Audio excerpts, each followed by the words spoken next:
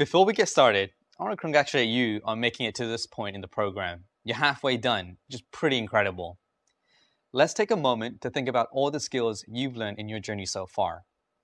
You've learned the fundamentals of information technology, from how binary works, to the importance of user support in IT, to even building your own computer. You learned the fundamentals of computer networking and how the internet really works. And finally, you learned how to navigate the Windows and Linux operating systems, managing processes and software in the command line like a true power user. Great work so far. Before we dive deep into systems administrations and infrastructure, I'd like to take this opportunity to introduce myself or reintroduce myself for those who might remember me from way back in course one. My name is Devin Sridharan. I've been working in IT for 10 years. I'm a corporate operations engineer at Google, where I get to tackle challenging and complex IT issues. Thinking back, my first experience with tech began when I was about nine years old when my dad brought home the family's first computer. I remember my dad holding a floppy disk and telling me that there was a game on it. To my dad's amazement, I somehow managed to copy the game from the disk onto the computer's hard drive. While it may seem like a trivial task now, this device was just so new to us back then. Sure, I loved the different games I could play, but what I really loved was tinkering with the machine, trying to get it to do what I wanted to do. While that floppy disk and computer might have ignited my passion for technology, it was actually my first few job experiences that really started to shape my IT career. One job was in retail selling baby furniture, and the other was at a postal store where I helped customers ship their package and became the one person IT crew. It might sound odd that working in retail inspired my career, but I realized that I really enjoyed communicating with customers, trying to understand their needs and offering a solution. My first experience working directly in IT was in college as an IT support specialist intern. From there, I worked as an IT consultant to decommission an entire IT environment. This was my first experience working directly with a large IT infrastructure and pushing myself outside my comfort level as a college student. I bring these first few jobs for a reason. These experiences helped shape my career in IT. I knew at that time that I wanted to go into tech, but I struggled with where I wanted to focus my career. Starting at Google as an IT journalist allowed me to experience many different areas of technology. It allowed me to figure out the jobs I didn't want to do, and before I was able to identify exactly what I did want to do. I'm really passionate about IT infrastructure. This program is designed to help prepare you for roles in tech support, desktop support, or at a help desk, but it doesn't stop there. In this course, we're going to open up an even wider net of possibilities in IT by teaching you the skills you need to manage computers for a whole organization. If you're working in a small organization, you might need to do this from day one. If not, stretching your skill set will make you stand out in the field and prepare you for potentially taking on this work further on in your career. In this course, we're going to build upon what you learn in the operating systems course by teaching you system administration skills. At a high level, system administration is the field in IT that's responsible for maintaining reliable computer systems in a multi-user environment. While systems administration responsibilities can overlap with other roles in IT, a person who works only in system administration is called a systems administrator. Systems administrators have a diverse set of roles and responsibilities. They can range from configuring servers, monitoring the network, provisioning or setting up new users and computers, and more. Think of system administrator as a tech generalist. They handle many different things to keep an organization up and running. It's actually very similar to how IT support specialists work. You need to apply your diverse set of tech skills in different situations to help solve problems in an organization. As an IT support specialist, doing systems administration tasks might be part of the job. So we're going to introduce the skills and knowledge you need to manage organizations and systems to keep your skills well-rounded. By the end of this course, You'll learn what services are used in IT infrastructure. You'll also learn about essential user software for your organization and how to manage an entire organization's users and computers using directory services. Finally, you'll learn the skills you need to back up your organization's data and recover it in the case of a disaster. All right, it's time to get started, so let's dive in.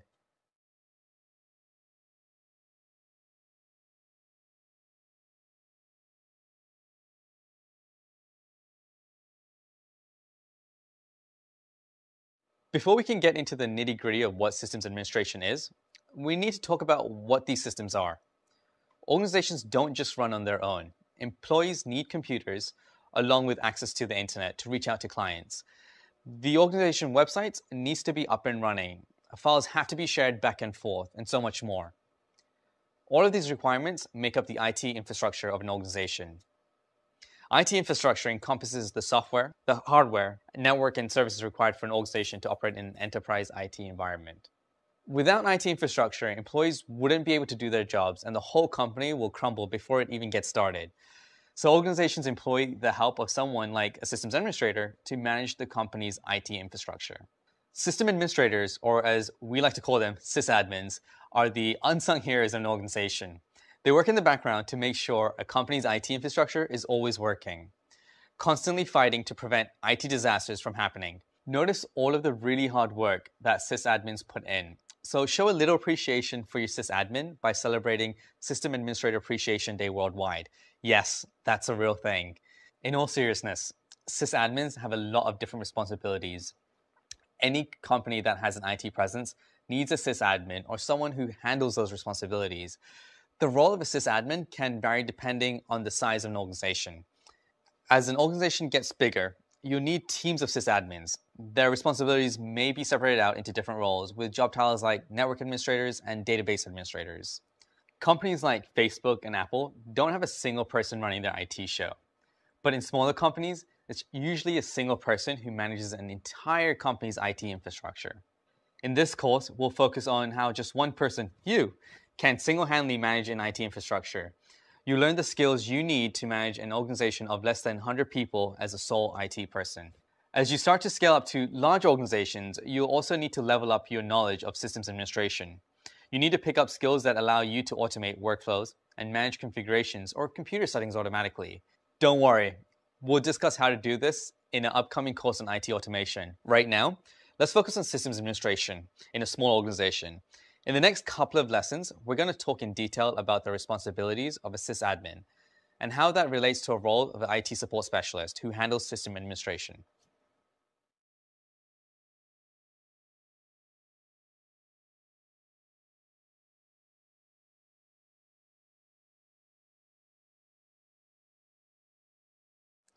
Basically, a sysadmin is responsible for their company's IT services.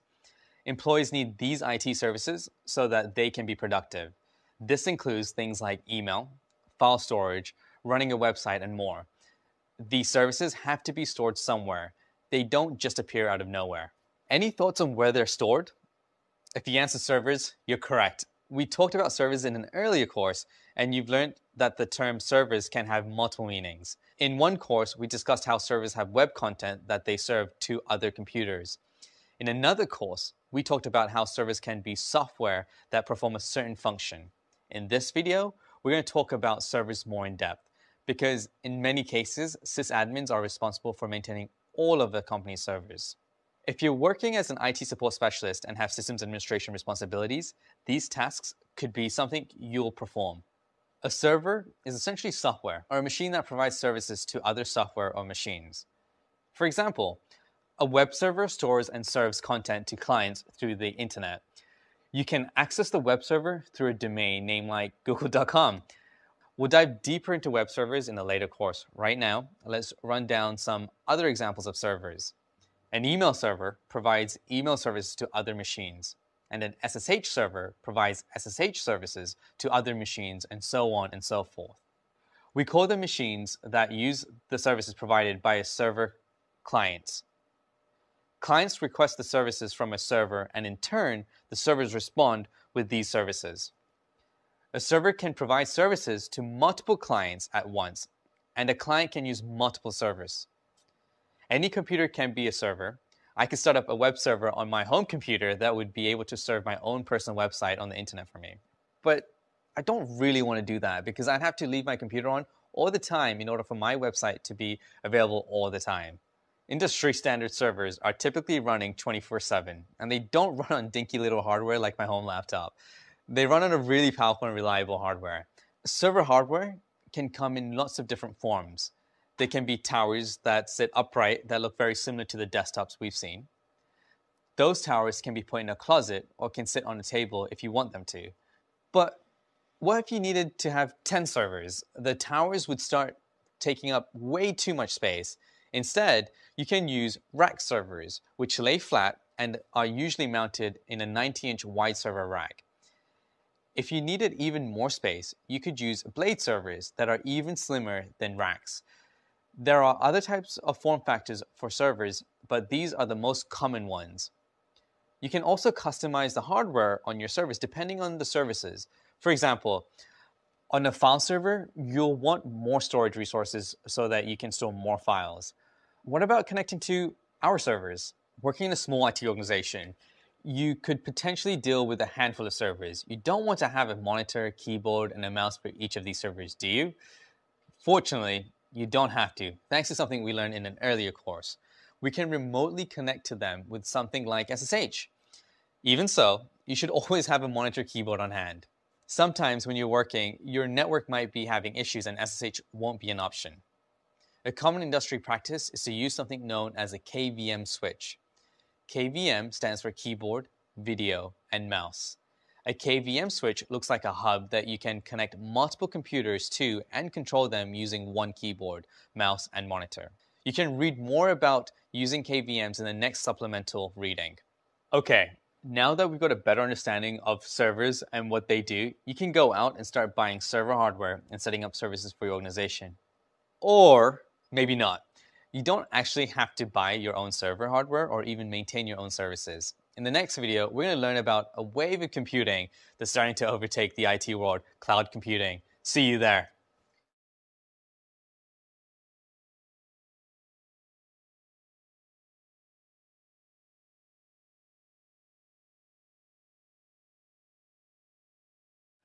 Oh, the cloud. The magical, wonderful cloud that you hear about in the news that moves data across the white, fluffy wonders in the sky. The magical cloud disperses bits of data across in the world in itty bitty raindrops, right? Uh, no, that's not how the cloud works at all. But you'd be surprised how many people believe that. There's no doubt you've heard the term cloud in the news or from other people. Your photos are stored in the cloud your email is stored in the cloud. Cloud computing is the concept that you can access your data, use applications, store files, etc. from anywhere in the world, as long as you have an internet connection. But the cloud isn't a magical thing. It's just a network of servers that store and process our data. You might have heard the word data center before. A data center is a facility that stores hundreds, if not thousands of servers companies with large amounts of data have to keep their information stored in places like data centers. Large companies like Google and Facebook usually own their own data centers because they have billions of users that need access to their data at all times. Smaller companies could do this, but usually rent out parts of a data center for their needs. When you use a cloud service, this data is typically stored in a data center or multiple data centers, anywhere that's large enough to hold the information of millions, maybe even billions of users. It's easy to see why the cloud has become a popular way of computing in the last few years. Now, instead of holding onto terabytes of storage space on your laptop, you can upload that data to a file storage service like Dropbox, which stores that data in a managed location like a data center. The same goes for your organization. Instead of managing your own servers, you can use internet services that handle everything for you, including security updates, server hardware, routine software updates, and more. But with each of these options come a few drawbacks. The first is cost. When you buy a server, you pay upfront for the hardware. That way, you can set up your services, like a file storage, at potentially very little cost because you're the one managing it. When you use internet services like Box, Dropbox, that offer file storage online, the starting cost may be smaller, but in the long term, costs could add up since you're paying a fixed amount every month. When comparing the cost of services, always keep in mind what a subscription could cost you for every user in your organization. Weigh that against maintaining your own hardware in the long term and then make the decision that works best for your organization. The second drawback is dependency. Your data is beholden to these platforms. If there's an issue with the service, someone other than you is responsible for getting it up and running again. That could cost your company precious loss of productivity and data. No matter what method you choose, remember that you're still responsible for the problems that arise when there's an issue. If Dropbox is having an issue with your important user data, it's still your problem, and you have to get it working again, no matter what. To prevent a situation like that from popping up, you might consider backing up some critical data in the cloud and on a physical disk. That way, if one system goes down, you have another way to solve the problem. Whether you choose to maintain physical servers or use cloud services, these are the type of things you need to think about when providing services to your company. In the next couple of lessons, we're going to talk about some of the other responsibilities of a sysadmin. We'll give you a high level overview of these, then dive even deeper later in this course.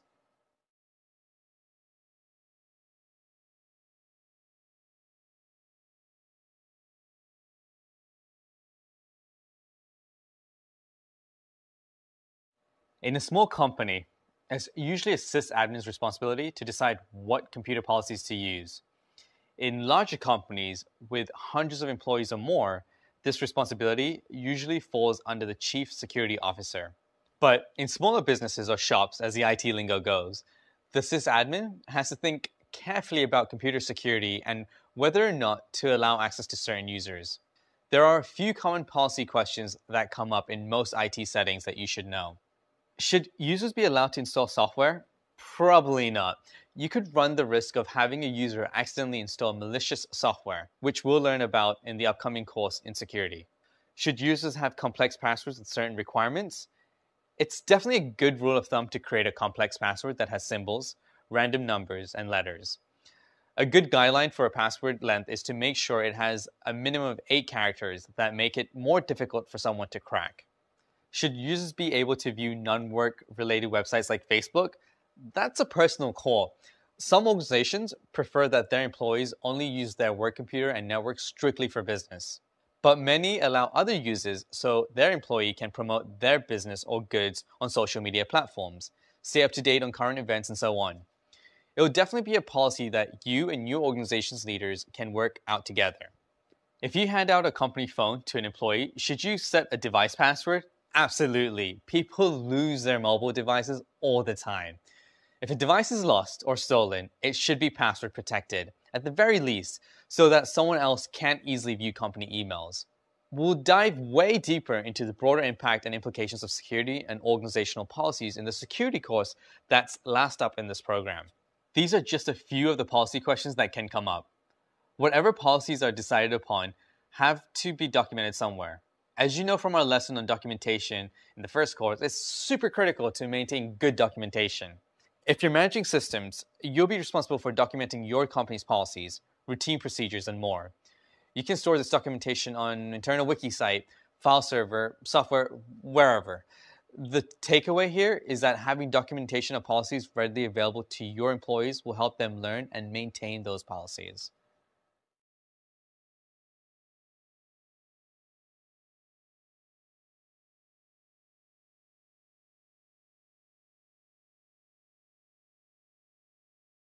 We've talked a little bit about the services that are potentially used in an organization, like file storage, email, web content, etc.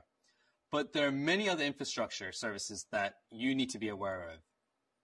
As an IT support specialist doing system administration, you'd be responsible for the IT infrastructure services in your organization.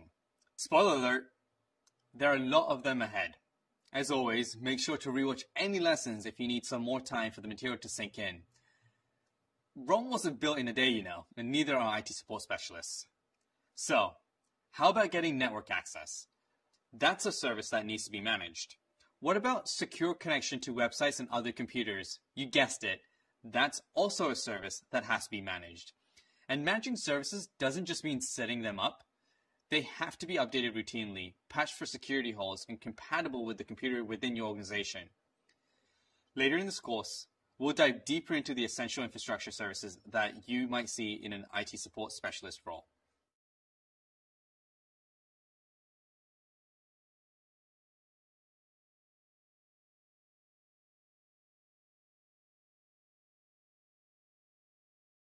Another responsibility sysadmins have is managing users and hardware. Sysadmins have to be able to create new users and give them access to their company's resources. On the flip side of that, they also have to remove users from an IT infrastructure if users leave the company. It's not just user accounts they have to worry about. Sysadmins are also responsible for user machines. They have to make sure a user is able to log in and that the computer has the necessary software that a user needs to be productive.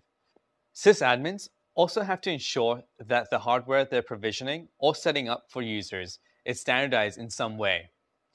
We talked in an earlier course about imaging a machine with the same image.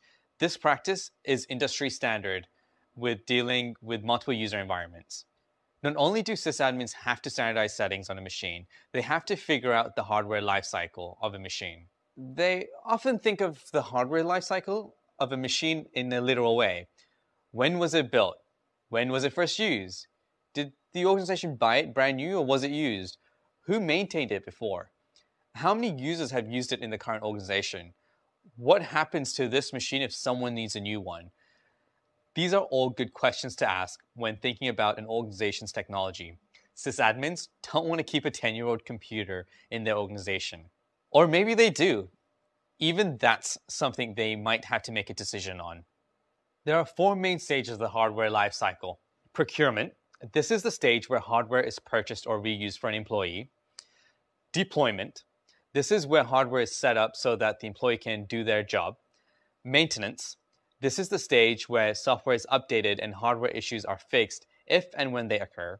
Retirement. In this final stage, hardware becomes unusable or no longer needed, and it needs to be properly removed from the fleet. In a small organization, a typical hardware lifecycle might go something like this. First, a new employee is hired by the company.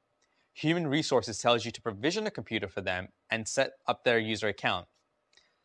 Next, you allocate a computer you have from your inventory or you order a new one if you need it. When you allocate hardware, you may need to tag the machine with a sticker so that you can keep track of which inventory belongs to the organization. Next, you image the computer with a base image, preferably using a streamlined method that we discussed in our last course, Operating Systems and You. Next, you name the computer with the standardized host name. This helps with managing machines. More on that when we talk about directory services later. In regards to the name itself, we talked about using a format such as username location, but other hostname standards can be used. Check out the supplemental reading to find out more. After that, you install software the user needs on their machine. Then, the new employee starts and you streamline the setup process for them by providing instructions on how to log into their new machine, get email, etc. Eventually, if a computer sees a hardware issue or failure, you look into it and think through the next steps. If it's getting too old, you'll have to figure out where to recycle it and where to get new hardware. Finally, if a user leaves the company, you'll also have to remove their access from IT resources and wipe the machine so that you can eventually reallocate it to someone else. Imaging. Installing software and configuring settings on a new computer can get a little time consuming. In a small company, you don't do it often enough where it makes much of a difference. But in a larger company, a time consuming process just won't cut it. You'll have to learn automated ways to provision new machines so that you only spend minutes on this and not hours. Luckily for you, we discuss how to do this in the next course of IT automation. See, we got you covered.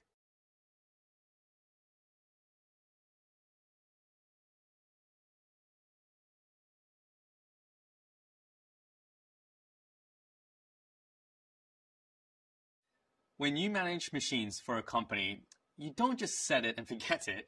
You have to constantly provide updates and maintenance so that they run the latest secure software. When you have to do this for a fleet of machines, you don't want to immediately install updates as they come in. That would be way too time consuming. Instead, to effectively update and manage hardware, you do something called batch update. This means that once every month or so, you update all your servers with the latest security patches. You have to find time to take their services offline, perform the update, and verify that the new update works with the service.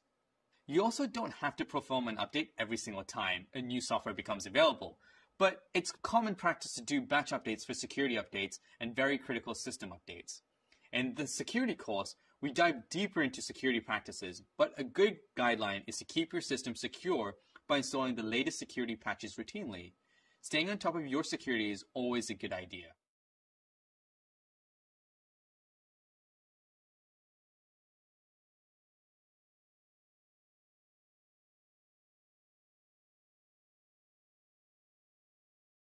Not only do sysadmins in a small company work with users and computers, they also have to deal with printers and phones too. Whether your employees have cell phones or desk phones, their phone lines have to be set up.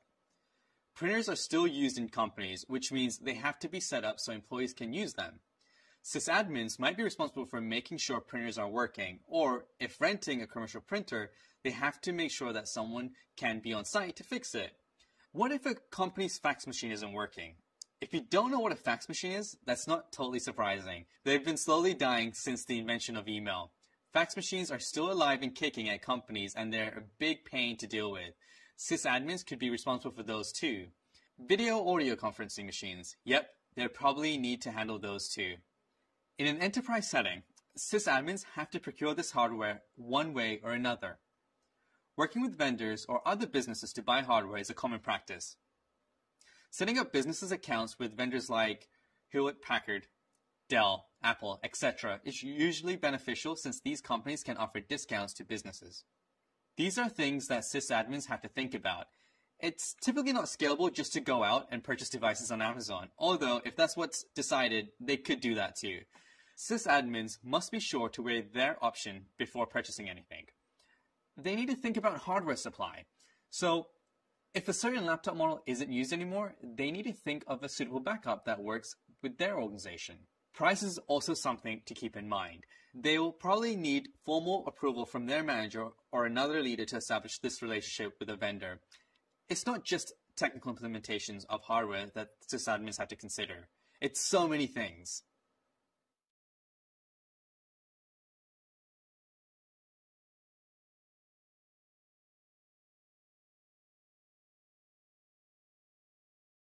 We talked about troubleshooting a lot in an earlier course, but it's worth mentioning again. When you're managing an entire IT infrastructure, you'll constantly have to troubleshoot problems and find solutions for your IT needs. This will probably take up most of your time as an IT support specialist. This could involve a single client machine from an employee or a server or service that isn't behaving normally. Some folks who start their careers in IT support deepen their knowledge to become system administrators.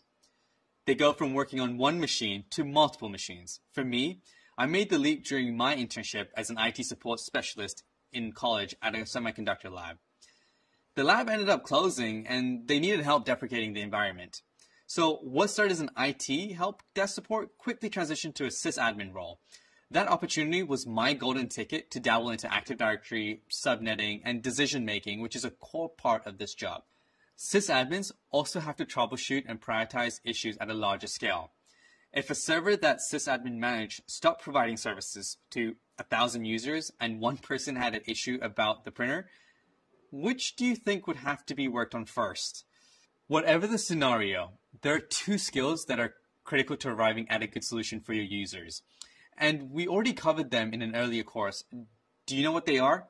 The first is troubleshooting, asking questions isolating the problem, following the cookie crumbs, and reading logs are the best ways to figure out the issue. You might have to read logs from multiple machines or even for the entire network. We talked about centralized logging a little bit in the last course on operating systems and you. Becoming a power user. If you need a refresher to how centralized logging works, check out the supplemental reading. Anyway, the second super important skill that we covered is customer service. Showing empathy, using the right tone of voice, and dealing well with difficult situations. These skills are essential to all IT roles.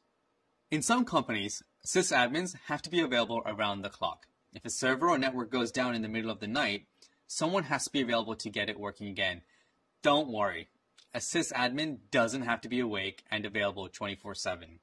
They can monitor their service and have it alert them in case of a problem. We'll discuss service monitoring in detail in the next course, IT automation. So how do you keep track of your troubleshooting? A common industry standard is to use some sort of ticketing or bug system. This is where users can request help on an issue and then you can track your troubleshooting work through the ticketing system. This helps you organize and prioritize issues and document troubleshooting steps. Throughout this course, we'll introduce types of services that a sysadmin needs to maintain and what responsibilities they have in an organization.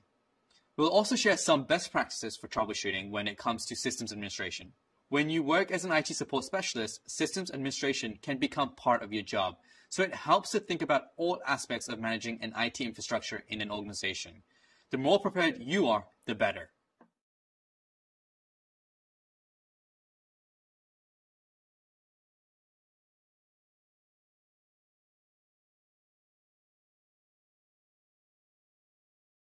Let's take a bit of a dark turn and talk about disasters. Like it or not, something at some point will start working, no matter how much planning you do. This happens in both small and large companies. It's an equal opportunity problem. You can't account for everything, but you can be prepared to recover from it. How? It's super important to make sure that your company's data is routinely backed up somewhere, preferably far away from its current location. What if a tornado struck your building and your backups got swept away with it? You wouldn't have a building to work in, let alone be able to recover your data and get people up and running again. Later in this course, we'll talk more about what methods you can use to back up your organization's data and to recover from a disaster. We'll try to keep things a little lighter in the meantime. So far, you've learned a lot about the roles and responsibilities of a sysadmin. Some of it may seem like a lot of work, some might even seem scary. Being responsible for keeping data available isn't easy, but it's rewarding role in IT. And you're already building your SA or sysadmin skill set by learning the fundamentals of IT support. Next up, we got a quiz for you. Then, in the next module, we'll discuss the technical details of the infrastructure services used in IT. See you there.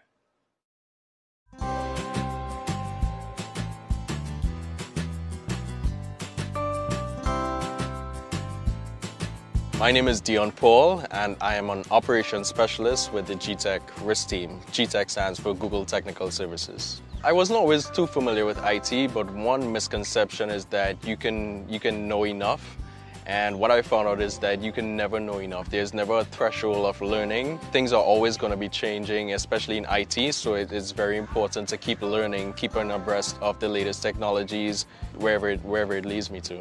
I'm never going to stop learning and I'm always going to be open to learning new things and applying those in, in different ways. My most memorable career moment was actually getting to meet the former First Lady Michelle Obama during a, a work trip I was selected for um, to participate in a project at the White House based on the work that my team was doing. And we were able to not only engage her in a virtual reality shoot but I also was tasked with ensuring that all the equipment was working, placing it directly in front of her, meeting her and the content was going to be rolled out to millions of kids around the world being able to operate a camera with the First Lady right in front of me, which is a moment I won't ever forget.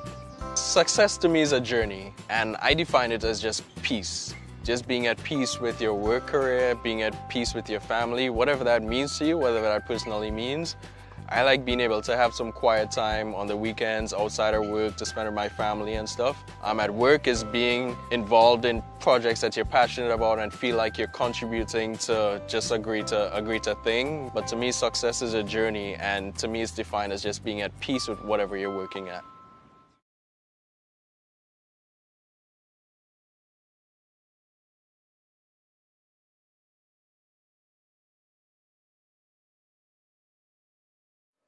Welcome back. In the last module, we learned that system administrators have lots of responsibilities, like maintaining infrastructure services. IT infrastructure services are what allow an organization to function. These include connecting to the internet, managing networks by setting up the network hardware, connecting computers to an internal network, etc. In this lesson, we're going to learn about the common IT infrastructure services out there and what you need to know to start integrating them into an organization. We'll also dig deeper into each infrastructure service individually. We will focus more on the physical infrastructure services like servers, along with network infrastructure services that keep your company connected to the internet. In short, we'll be servicing all your infrastructure services needs.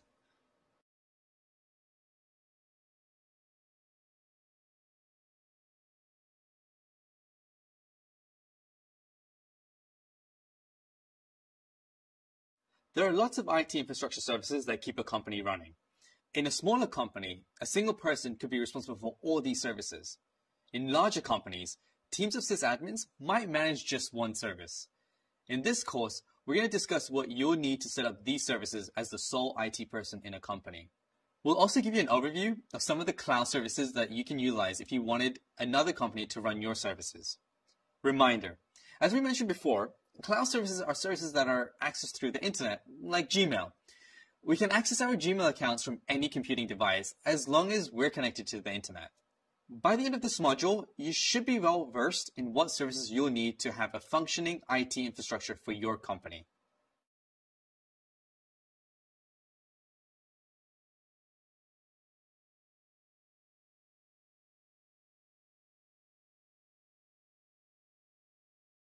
There are lots of types of IT infrastructure services out there.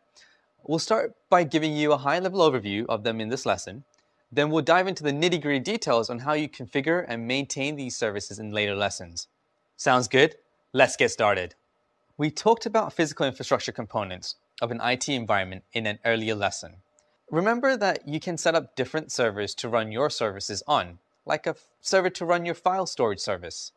You can buy or rent hardware for these servers and set up and store them either on site or at another location. Essentially, you manage these servers end to end. There's another option. If you don't want to be responsible for managing the hardware tasks and updating your server operating systems with security patches and updates, you can use the cloud alternative to maintain your own infrastructure, which is called Infrastructure as a Service or IaaS. IaaS providers give you pre-configured virtual machines that you can use just as if you had a physical server. Some popular IaaS providers are Amazon Web Services and their Elastic Compute Cloud or EC2 instances, Linode, which rents out virtual servers, Windows Azure, and Google Compute Engine, which you've been using throughout this course. You can read more about the different IaaS providers in the supplemental reading right after the, this video. Your company's internal network isn't going to be like your network at home you're going to have multiple computers that need to be on a certain subnet. You have to assign them IP addresses statically or using DHCP. The networking hardware has to be set up. Wireless internet will probably need to be available. DNS needs to be working, etc. If your company is large, networking is usually taken care of by a dedicated team. But in smaller companies, you probably be responsible for setting up the network. Network can be integrated in an IaaS provider, but in recent years, it's also been branched off into its own cloud service, Networking as a Service, or NAAS. NAAS allows companies to offshore their networking services so that they don't have to deal with the expensive networking hardware. Companies also won't have to set up their own network security, manage their own routing, set up a WAN, and private intranets, and so on. For more about NAAS providers, check out the supplemental reading. Let's talk about the software that your company might want to use. Do you need to type out Word documents, use an email client, communicate with other people, use operating systems, process spreadsheets, or have any other software needed to run a business? I bet yes. The right software has to be available to your company's users. We've already discussed how to install and maintain software and machines. You have to deal with things like licenses, security, updates, and maintenance for each machine. The cloud alternative to maintaining your own software is known as software as a service or SaaS. Instead of installing a word processor on every machine, you can use Microsoft Office 365 or Google's G Suite. These are both services that you can purchase that allow you to edit Word documents, process spreadsheets, make presentations, and more, all from a web browser. You can check out the next supplemental reading for more about SaaS providers. Some companies have a product built around a software application. In this case, there are some things that software developers need to be able to code, build, and ship their software. First, specific applications have to be installed for their programming development environment.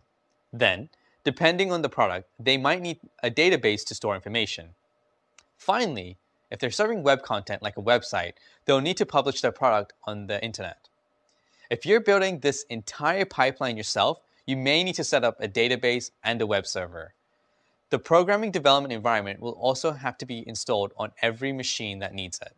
If you want an all-in-one solution to building and deploying a web application, you can use something called Platform as a Service, or PaaS.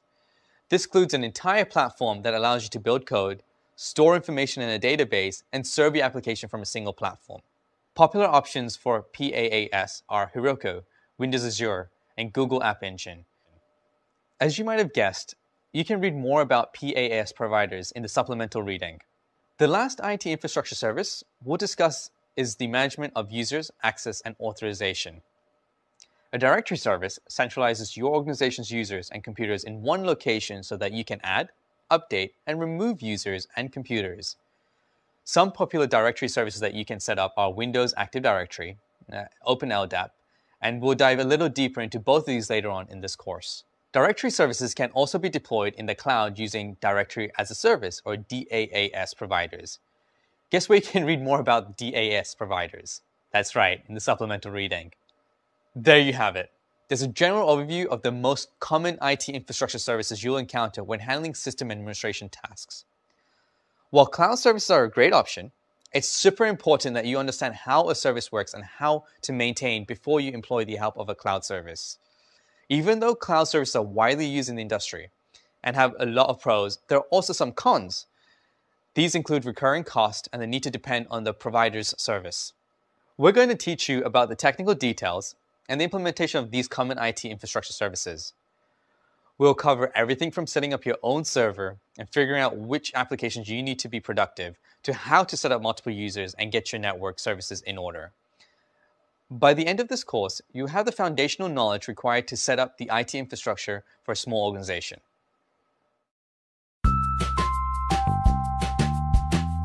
I grew up in a small town in the desert, and there wasn't really much to do except read, play with computers, and study. And this is where I really learned to love technology, to understand how this computer worked, how it did what it did, and how I could make it do something different. And when I went to college, I began to study uh, the Unix operating system. And I learned just enough to get an internship at the local ISP. And uh, this was quite alarming for me because the first day of my internship, I walked in and they said, Great, we're so happy you're here. You know Unix, right? Yes. Uh, here's a Radius server. We want you to set it up. It needs to be done by the end of the week. And I said, How exciting! I get to do something that will have an impact on our users and I will get to learn something. There was just one problem I didn't know what Radius was. So this was going to be quite a difficult challenge for me. So I had to read the manuals, the man pages, and I had to scour the library for books. And it took me about three days to learn what Radius was and how to set it up. But in the end, I knew more about it than anyone else at the ISP. And that expertise really, I think, drove me to become an expert in more areas.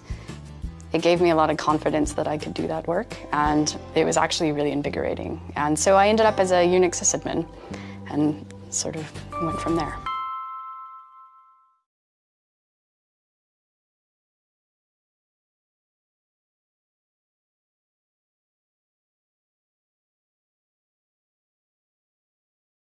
When you want to set up a server, you essentially install a service or application on that server, like a file storage service. Then that server will provide those services to the machines that request it. Maybe you thought you'd install services on a user operating system like Windows 10. While that's an option, typically in an organization, you'll want to install your services on a server operating system. Server operating systems are regular operating systems that are optimized for server functionality. This includes functions like allowing more network connections and more RAM capacity.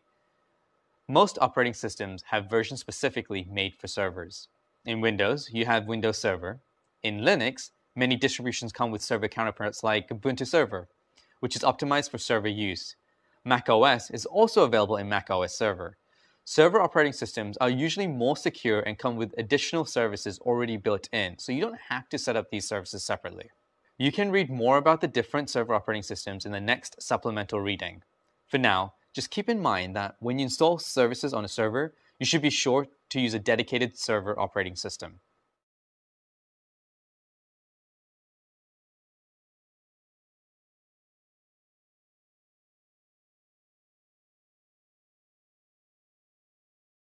We discussed virtual machines in the last course and covered how to set up a virtual machine on a personal computer. In this lesson, we're going to talk about why virtualization can be an important part of infrastructure services and systems administration. There are two ways you can run your services, either on dedicated hardware or on a virtualized instance on a server.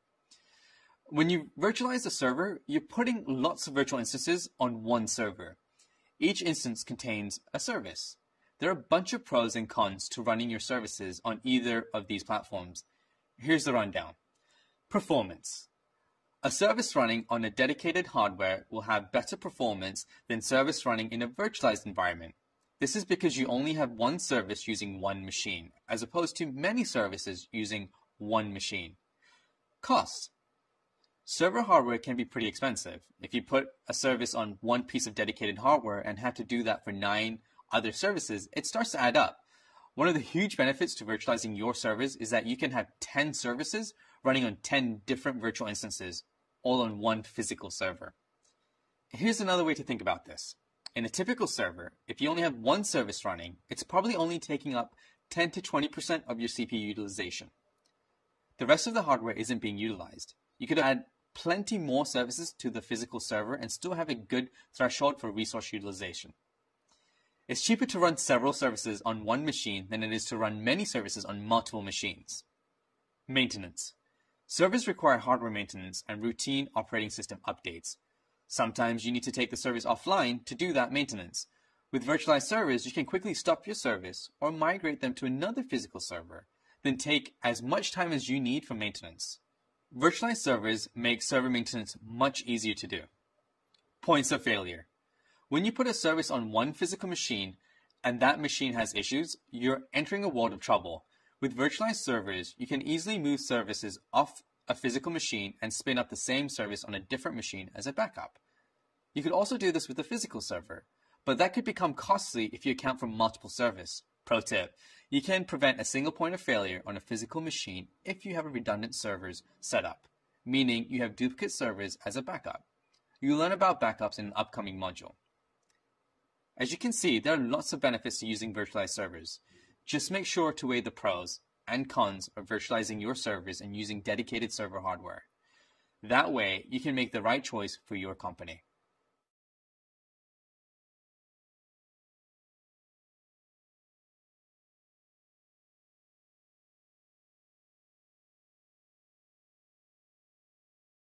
Another important part of physical infrastructure services is the ability to connect to your infrastructure from anywhere in the world.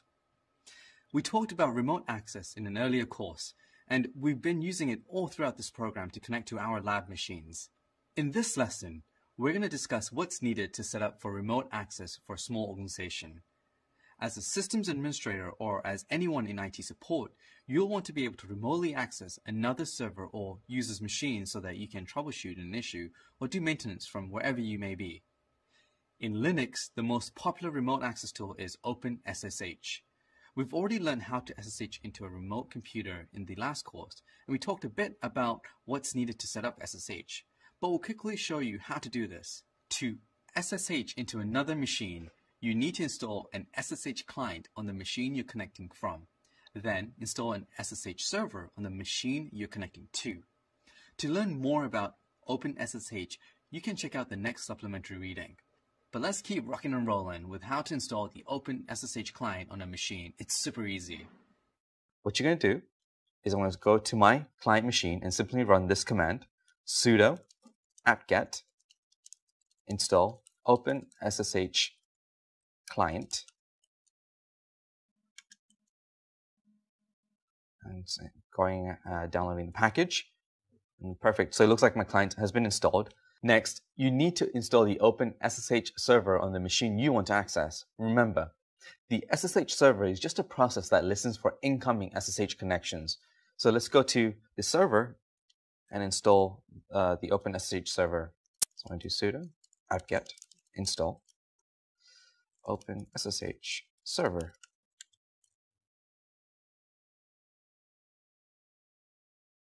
Perfect. So it looks like my server is up and running. So let's go back to the client and do a test. I do SSH. Enter my server IP address with my username.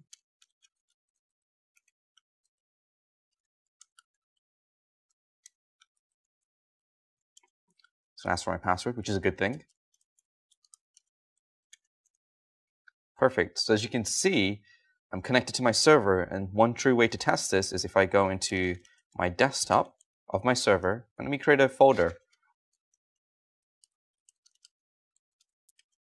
Now if I go back to my server, which is on this window, I list the files, you can see the folder test, and that's it. Now you're able to SSH into a machine from another machine. Not too complicated, right? Windows has similar tools that you can use. A popular tool to access a CLI remotely is WinRM or PuTTY. RDP is also popular if you want to access the GUI remotely. We've already discussed how to connect to a machine using PuTTY in the last course. Just remember to install an SSH server on the machine you want to connect to. We also already discussed how to set up RDP in the last course. Feel free to review those lessons as a refresher. You can read more about the Windows Remote Access tools in the next reading. The takeaway here is that when you manage IT infrastructure, you can utilize tools like remote access to work on your physical infrastructure. You'll need to do a little bit of setup beforehand, like installing the SSH client, SSH servers, and allowing remote desktop connections, etc. But it'll be worth it in the long run. Next up, we'll tackle network service. See you there.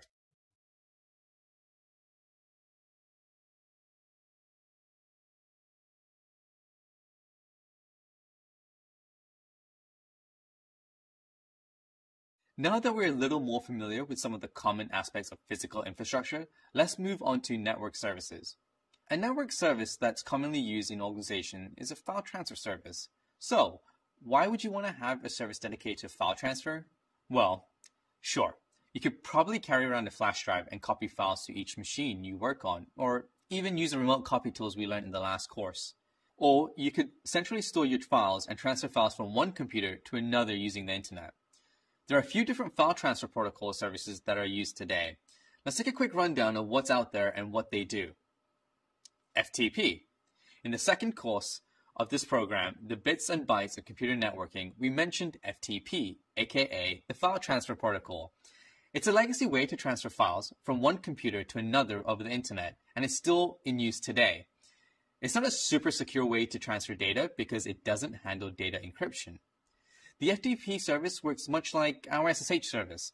Clients that want to access an FTP server have to install an FTP client. On the FTP server, we install the software that allows us to share information located in a directory on that server.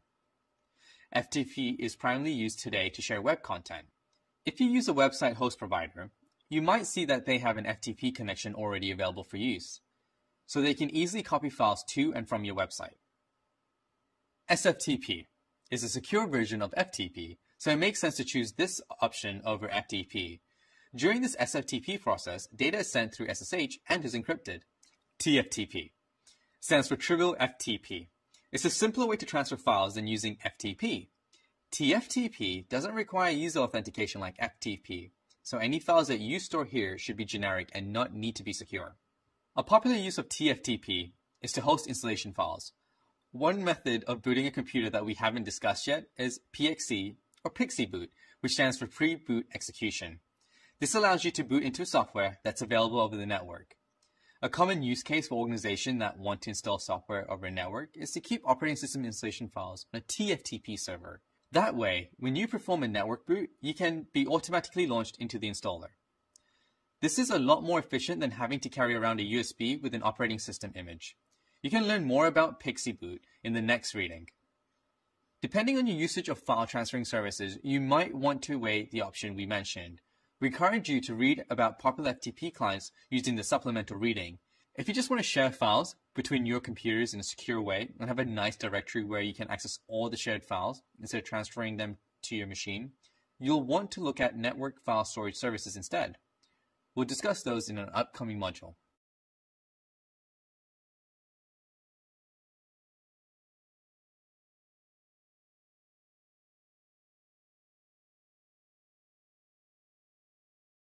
One of the oldest internet protocols in use today is the Network Time Protocol, or NTP. It's used to keep the clock synchronized on machines connected to a network. You've probably seen NTP implemented in your personal life if you've ever been in an airport. Airports utilize synchronized clock systems, and many of the systems use NTP. This is because the information that you see on your departure and arrival screen has to match the time that the air traffic controller team sees for their airplanes. If only NTP could solve for airport delays. Anyway, in the IT world, machines need to have accurate time across the network for a lot of reasons. There are some security services like Kerberos, a network authentication protocol, that depend on the time being consistent across the network to work. You'll learn more about that in the IT security course coming up. It is important to keep the time consistent and accurate across your company's fleet. You can't depend on the hardware itself to keep consistent time, so you might want to set up an NTP server. There are different ways that an IT support specialist or sysadmin can do this for an organization. You can use a local NTP server or a public NTP server. To set up a local NTP server, you can install NTP server software on your managed server. Then you install NTP clients on your machines and tell those computers which NTP servers to sync their time to. This is a great option because you can then manage the entire process from end to end. The other way to set up NTP is to use a public NTP server. Public NTP servers are managed by other organizations that your client machines connect to in order to get synchronized time. This is an awesome way to utilize NTP without having to run a dedicated NTP server. But if you have a large fleet of thousands of machines, it's better etiquette to be running your own NTP servers. Another good practice is to run your own NTP server, then have that point to a public NTP server. This makes it so that you don't connect all your clients to a public NTP server and you don't have to measure time synchronization. Whether you run your own NTP server or use a public one, NTP is an important network service that you should definitely integrate into your own fleet.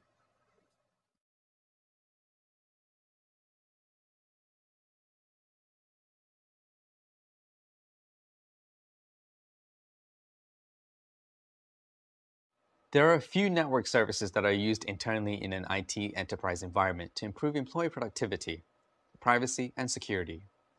While they're pretty common, you might not encounter them in small organizations. We discussed these services in Course 2 on networking, but let's do a refresher. We're sure that you'll encounter them at some point in your IT career. There are intranets and proxy servers. An intranet is an internal network inside a company.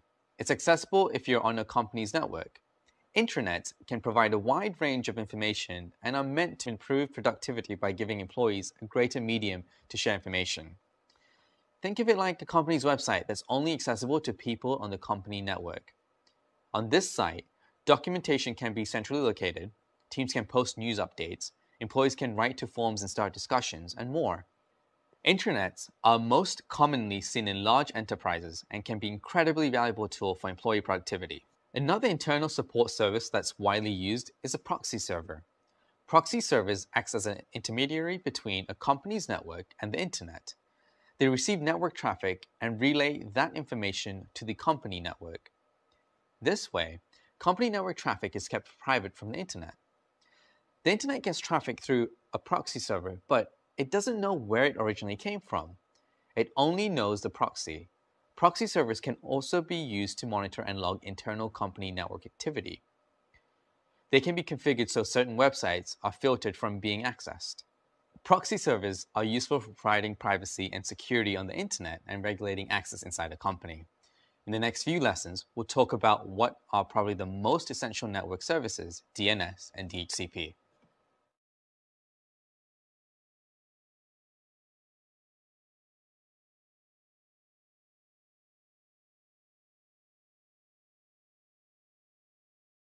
We did a deep dive on DNS, or Domain Name System, in the networking course. If you need a refresher on it, make sure to review the material there. As a super quick recap, DNS is what maps human understandable names to IP addresses. It's an important network service to set up and maintain when managing a company's IT infrastructure. If you don't set it up correctly, no one will be able to access websites by their names. We don't really have to think about DNS on our personal computers. When you connect a brand new machine to the internet and start typing in a web address, it just works automatically. You don't have to type in IP address or anything, but something is happening in the background. When you connect to a network, you're using the DNS server address that was provided by the router you connected to. It updates your network setting to use that DNS server address, which is usually your ISP's DNS server. From there, you're able to access pretty much any website. So why do you need to set up your own DNS servers if DNS just works out of the box? Well, there's two reasons. First, if you're running a web service like a website, you want to be able to tell the internet what IP address to reach your website at. To do that, you need to set up DNS. The second reason is that you probably want to work on your server or user machines remotely. In theory, you could remote access into them through an IP address, but you could also just use an easy to remember host name. To do that, you need DNS to map the IP address to the host name. In the next couple of lessons, we'll discuss what's needed for DNS setup for websites and internal networks.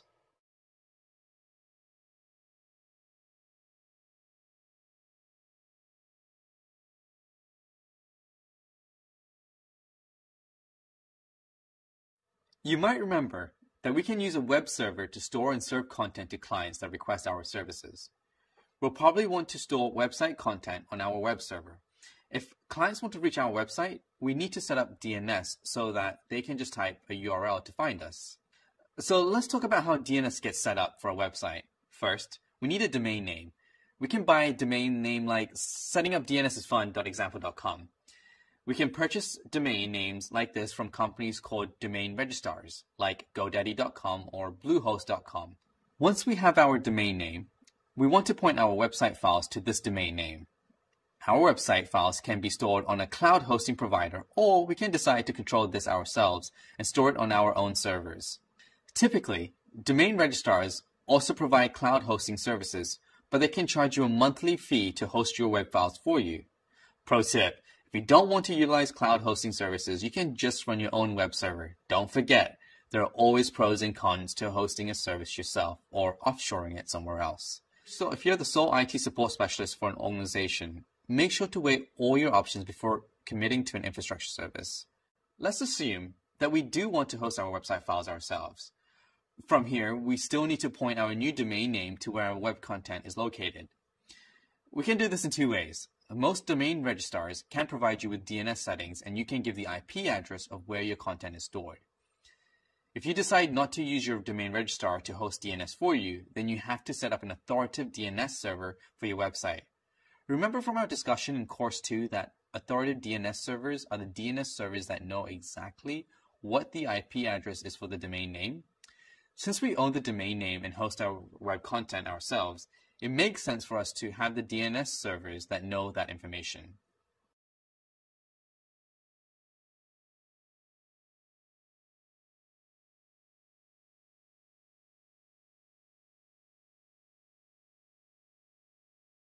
The other reason we might want our own DNS servers is so we can map our internal computers to IP addresses. That way, we can reference a computer by name instead of IP address. There are a few ways we can do this, one is using a local host file which contains static IP addresses to hostname mappings. Let's take a look at an example of this.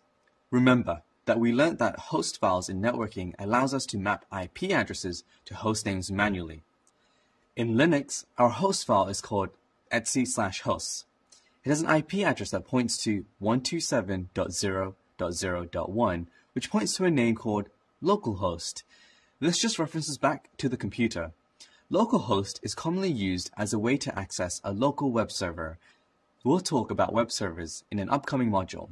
So for now, let's not worry too much about localhost. Instead, if I change this IP address mapping to www.google.com, then save and open a web browser and type www.google.com, it won't take me there. Let me show you that. So I'm going to go ahead and change my localhost to www.google.com. I'm going to save this, open my web browser to www.google.com. And as you can see, it didn't take me anywhere. It just takes me back to my local computer. This is because a DNS query first checks our local host file, then our local DNS servers. So if there's an entry for google.com in my host file, it will go to that IP address instead. Let's say I wanted to access Natalie's computer at 192.168.1.5 and her hostname is catlady.examplecompany.com. I would have to enter this in my host file for every single computer in my fleet. That's definitely not the scalable option. Okay, so what's our next choice? We can set up a local DNS server that contains all the organization's computer names mapped to their IP addresses. This is a more central storage location for this information. Then, we change our network settings for all our computers to use this DNS server instead of the one given to us by our ISP. Finally, let's look at one of the last DNS option we can use for an internal network. It can be integrated with a directory service which handles user and machine information in a central location like Active Directory and LDAP. Once we set up DNS and our directory service, it will automatically populate with machine to IP address mappings. So there's no need to enter this information in manually. We'll talk more about these directory services in a later module. And voila! That's an overview of why you need a DNS, along with your options for configuring them. We won't dive too deeply into the technical details of setting up a DNS server, but if you are interested in learning about which DNS software to use, there are a few popular options like Bind or Power DNS. I bet you can guess where you can read more about them in the supplemental reading. One thing about DNS that we haven't discussed is what to do if we use something like DHCP, which doesn't use static IP addresses. Don't worry, we'll cover this in the next lesson.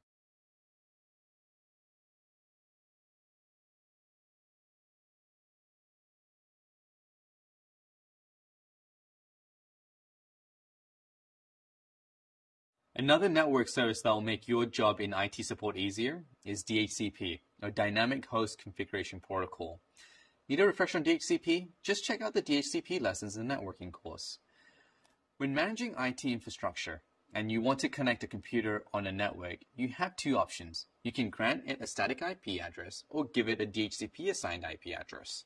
When you use a static IP address, you have to keep track of every IP address you assign a computer and manually enter it in the network settings. If you enable DHCP, your computers will be leased an IP address from a DHCP server. They'll automatically get IP addresses and you don't have to worry about manually setting addresses. If you ever decide you need to expand your IP address range, you don't have to change anything on the client machines either. It just happens automatically. To configure a DHCP server, you'll need to figure out which IP range you can use to assign IP addresses. If you want to integrate with DNS, you'll need the address of your local DNS servers, what gateway you should assign, and the subnet mask that gets used. Once you install the DHCP server software, you have to configure the settings with this information. Different DHCP server software manufacturers have different configuration setting layouts. So you'll have to investigate the specific one you want to use. There are a lot of popular DHCP server software you can use for this. Windows Server versions come with DHCP service built in, but you can read more about the options in the next reading. Once you turn on your DHCP server and your clients are set to receive DHCP addresses instead of static IP addresses, you should have working DHCP settings. In the last lesson, we talked about how DNS ties in with DHCP. Well, in our DHCP configuration settings, we can specify DNS server locations. The two servers then sync up, and when DHCP leases out new addresses, DNS updates its IP address mappings automatically. That's a super quick overview how DHCP servers are configured. Hopefully, you can now see why DHCP and DNS are critical network services for your organization.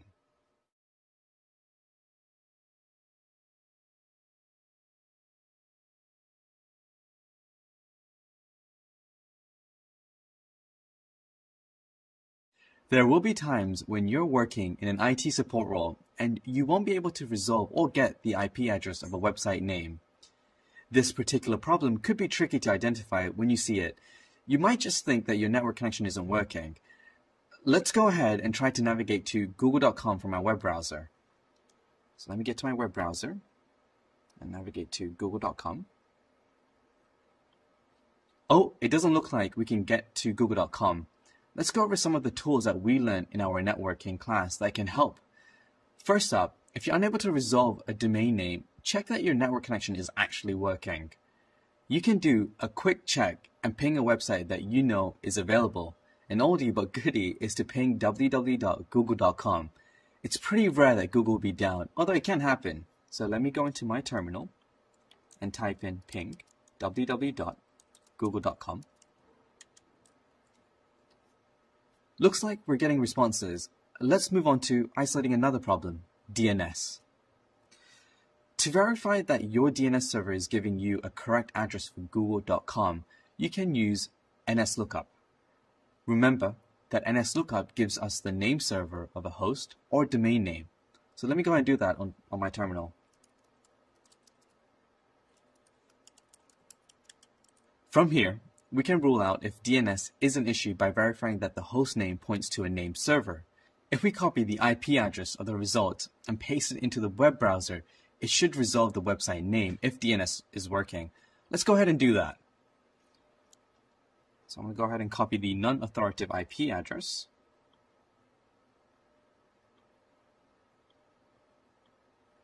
Open my web browser.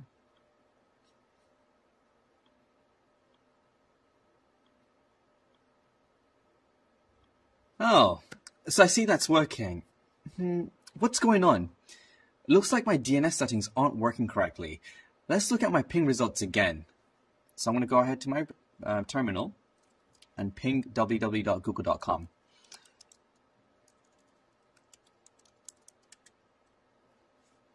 Hmm.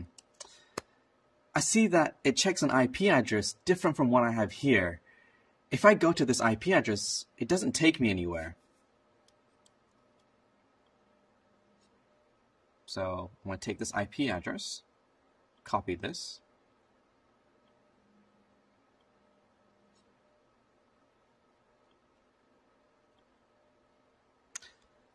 Huh. Remember that when a DNS query is performed, your computer first checks host file. Now, if I access my host file here, I can see that I have an entry for www.google.com and it points to a fake IP address. If I remove this line right here where it says 127.1.1.3 and save that configuration file, and then restart my browser, if I type in www.google.com, there we go. We're there. And the correct DNS setting should be applied to www.google.com. There are some situations where DNS can be tricky to navigate since there can be many contributing factors. But as with any troubleshooting scenario, remember to keep isolating the problem down until you can get to a root cause. With time and experience, you'll learn a lot more about DNS and how to troubleshoot it in the real world. We've covered a lot of information in this module. You learned about all the overall services needed in an IT infrastructure. On top of that, you learn about physical infrastructure services like remote access and virtualization that help your organization run more efficiently. You even learn about essential networking services like DNS and DHCP along with the overall picture of what's needed to set up DNS for an organization and why you'd want to do that. Now we're going to test you on all that learning. And don't forget, you can always go back and review the material again if you need to before you take the quiz. In the next module, we're going to cover two of the other IT infrastructure services, software and platform services. I'll see you there.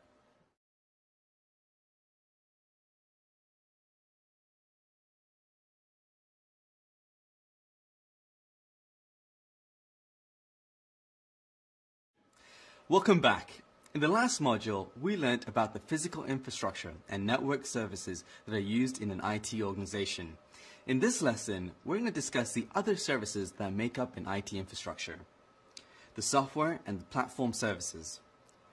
Software services are the services that employees use that allow them to do their daily job functions. This can include applications like word processors, internet browsers, email clients, chat clients, and so on Platform services provide a platform for developers to code, build and manage software applications. This way, developers don't have to deal with operating system maintenance and other services that are needed to use for the platform tools. When managing IT infrastructure, it's important that you implement software services for your users to enable their productivity.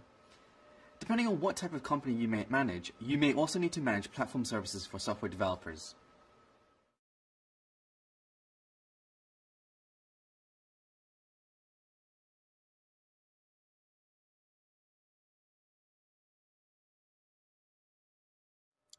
Software services include a wide range of functions. We'll cover the major ones here. First up is communication services, which enable employees in a company to talk to one another. Then, the security services, which add a layer of security protection to our IT infrastructure. We'll also discuss user productivity services and some of the aspects of managing software in a business that you'll probably have to think about in your work. There's lots of software out there that's used for intercompany communication, like email or phone communication. These are important communication services, but in this video, we're only going to discuss software that's used in instant communication. Instant communication has drastically changed how we communicate in both our personal lives and in the workplace. We can have multiple conversations with different people in real time using chat applications. You probably use something like Facebook Messenger on your smartphones to chat with your friends. In a business setting, there are similar methods of instant communication. The first is Internet Channel Relay, or IRC, which is a protocol that's used for chat messages. IRC operates in a client server model, so lots of IRC client software can be used to connect to an IRC server. IRC was widely used in the 1990s as a way to facilitate all kinds of chats, group chats, individual chats, and more. It's not as widely used today, given the wave of social media instant chat messages, but if you're considering setting up IRC, it is a free alternative to other chat applications. Paid for options are another method of instant communication. There are a lot more sophisticated and advanced chat applications out there that offer enterprise support. A few popular options are HipChat and Slack. You can read more about these in the supplemental reading. There are also other communication protocols called OpenIM protocols that are widely used and integrated into different communication applications. One of the most popular communication protocol is XMPP or Extensible Messaging and Presence Protocol. It's an open source protocol used in instant messaging applications and social networking services. XMPP is even used in Internet of Things applications, among other things. A few popular and free applications that use XMPP are Pidgin and Adium. Feel free to check out more about these alternatives in the supplemental reading right after this video. Instant communication is a fantastic tool you can use to promote team collaboration and efficiency. When managing an IT infrastructure, it should be one of the communication services that you consider implementing for your organization. They'll definitely thank you, maybe even over instant communication.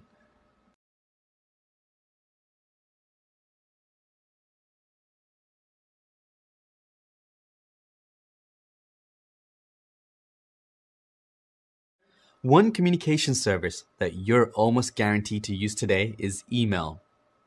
We use email for a wide range of communication. In an enterprise setting, it's important for a sysadmin or a sole IT support specialist to be able to configure email services for the company.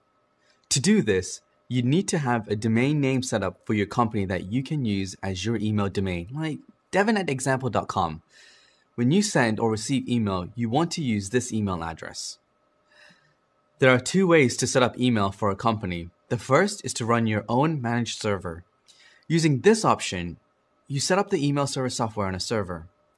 Then you create a DNS record for your mail server. There are different DNS records. Remember that the A record is used for host names, but for email servers, we use MX for the mail exchange record. Email server setup can be one of the most complicated servers to set up for sysadmin. You have to get the email to actually work, protect your email addresses from spam, filter out viruses, and more. If you'd like to learn more about setting up an email server, check out the next reading. An alternative approach to setting up your own email servers is to use an email service provider like Google Suite. These service providers allow you to create email inboxes and more by paying a monthly fee for every user in your organization. This ties you into the Gmail webmail client and allows you to access your email from anywhere, as long as you're connected to the internet. Whatever option you choose, you'll have to understand the differences between email protocols when you set up your email accounts. There are lots of email protocols out there, but we'll only do a rundown of the more common ones you'll hear about POP3, IMAP, and SMTP. Post Office Protocol, or POP version 3, is an email protocol that downloads email from an email server onto your local device. It then deletes the email from your email server.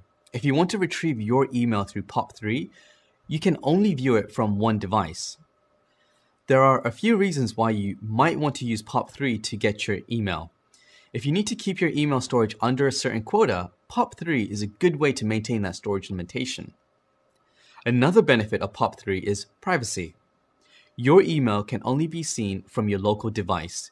If storage limitations and security are a concern for you, you might want to consider using POP3 over something like IMAP. Speaking of, IMAP, or Internet Message Access Protocol, allows you to download emails from your email server onto multiple devices. It keeps your messages on the email server. This email protocol is one of the more popular ways to retrieve email. Last up is Simple Mail Transfer Protocol, or SMTP, which is a protocol used for sending emails. While POP3 and IMAP and other protocols can be used to retrieve email, there's really only one email protocol for sending email, SMTP. So there are lots of different email protocols that can be implemented depending on the email software you choose. You can read more about them in the supplemental reading. Email service is critical for any organization. Companies need to be able to contact clients and business partners and communicate internally. If you work in an IT support specialist role where you're handling system administration tasks, you will need to weigh the pros and cons of a dedicated email server or a cloud email service. Decisions, decisions, decisions.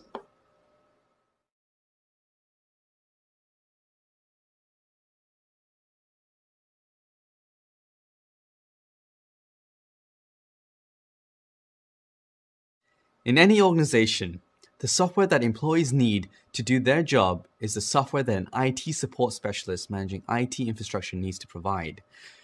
Depending on the organization, you might need to get your users things like software development programs, word processing, graphical editors, finance software, and so on. Whatever software you provide, there are different things to consider when using it in a commercial setting that might not have crossed your mind when you've used a similar software personally. Remember when we discussed software licensing in an earlier lesson, when you use software, you're doing so under the agreement of the developer's license. For example, when you use open source software, the license agreement usually says that it's free to use, share, and modify. When software is used as a consumer, agreements can say that only a specific person can use the software. In a business or commercial setting, most software distributors will have a separate agreement in most cases, you can buy 10 licenses and any 10 people in your company can use it. If someone leaves the company or doesn't need the software anymore, you can take their license and give it to someone else in the company. When considering software licenses, it's important to review the terms and agreements, then move forward with whatever option works best for your company. Things get a little more complicated when it comes to cloud software services. You might have to deal with some of the same stipulations and also think through whether to purchase added features for businesses and enterprises, like dedicated customer support. Whatever method you use to provide software, whether it's installing software on every machine or utilizing cloud software services, there's one thing to keep in mind. Software used as a consumer won't be the same as software used as a business.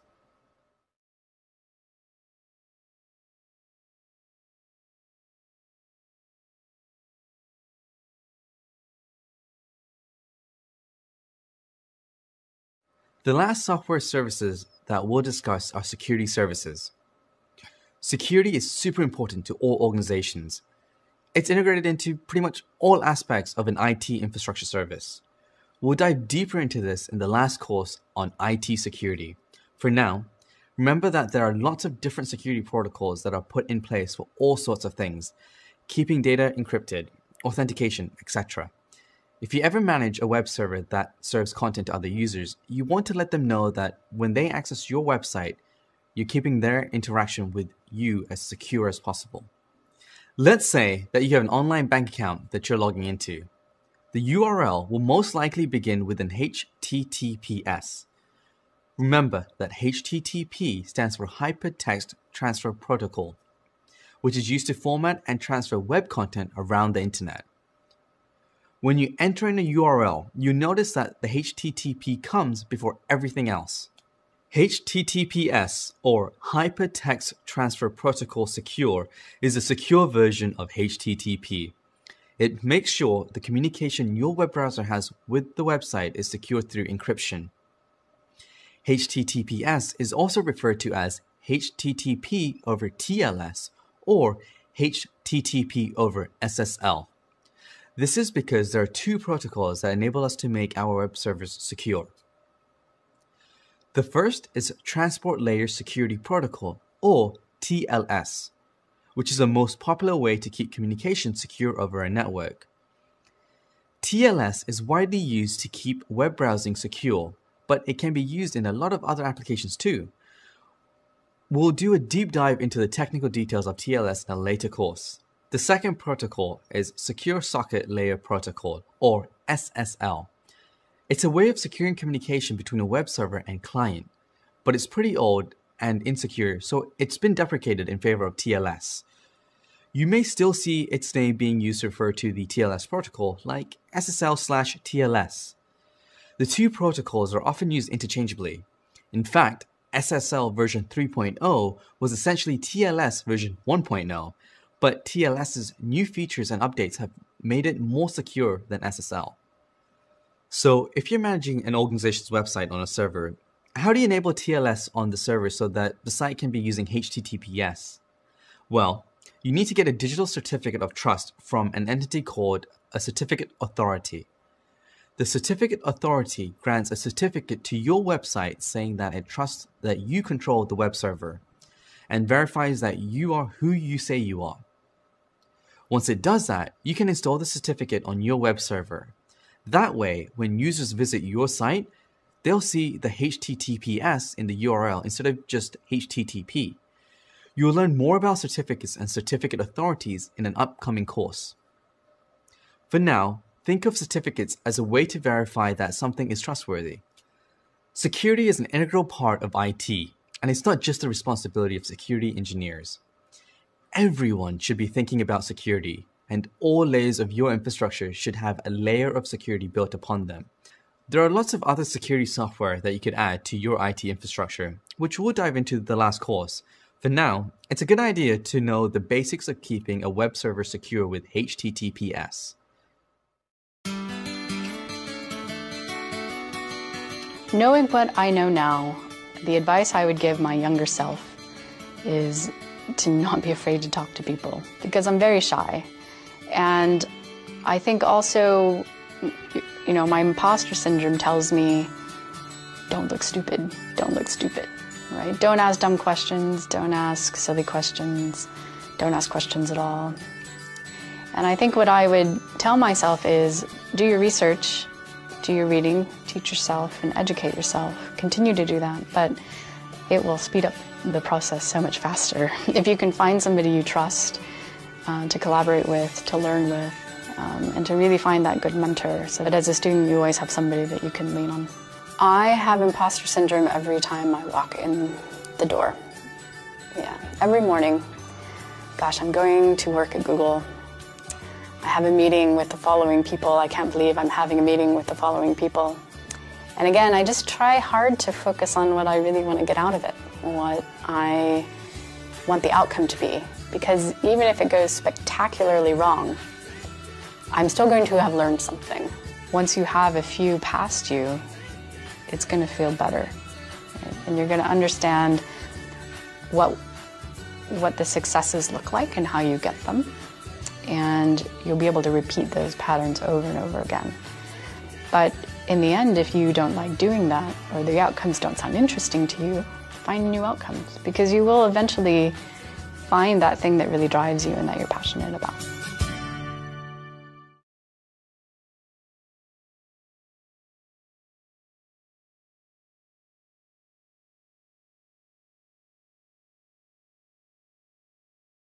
In the operating systems course, we discuss files in depth and how we use and modify them on our OSs. In this lesson, we're going to run down some of the file services we can use that will allow us to be productive as an organization. Employees need to be able to share files with each other, whether that's to collaborate or exchange information. We talked about shared folders in Windows in the last course, but in this lesson, we're going to talk about more scalable and efficient ways to share data. Enter file storage services. File storage services allow us to centrally store files and manage access between files and groups. You can set up a file storage server that will let users access a shared directory to modify or add files and much, much more. In the next lesson, we'll go into depth on two of the more popular ways you can use to manage, store, and share files over a network. The other way to maintain a file storage service is by using a cloud file storage provider. There are lots of providers that offer secure and easily managed file storage. You can read about some of the more popular ones in the supplemental reading. For now, let's see how to manage a file storage service ourselves.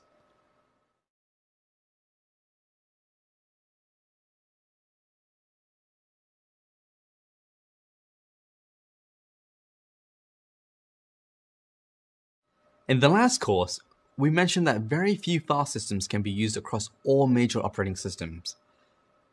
FAT32 is a popular file system that's compatible with Windows, Linux, and Mac OSs, but it has severe limitations on the amount of data you can store on a volume. What happens if you have multiple users that want to share files between each other? Well, they need to store the files somewhere and they need to be able to retrieve the files over a network. Network File System, or NFS, allows us to do this. It's protocol that enables files to be shared over a network. The file system is compatible on all major operating systems. The easiest way to set up an NFS server is by using a Linux environment. You can install NFS server software, then modify the configuration files for the directories that you want to allow shared access to. Once you do that, the NFS service will be running in the background of the server. On each client machine that wants to access the server, you just mount the file system the way you would any other file system, except you'd use a host name instead of a physical disk device. From there, you can access the shared directory like you would any other folder on your computer, Check out the next supplementary reading for some examples of NFS server software you can configure for Linux. NFS is a good solution to file sharing within a network, but as with anything on a network, heavy usage will slow down the file system. While NFS works with all major operating systems, there are still interoperability issues with Windows.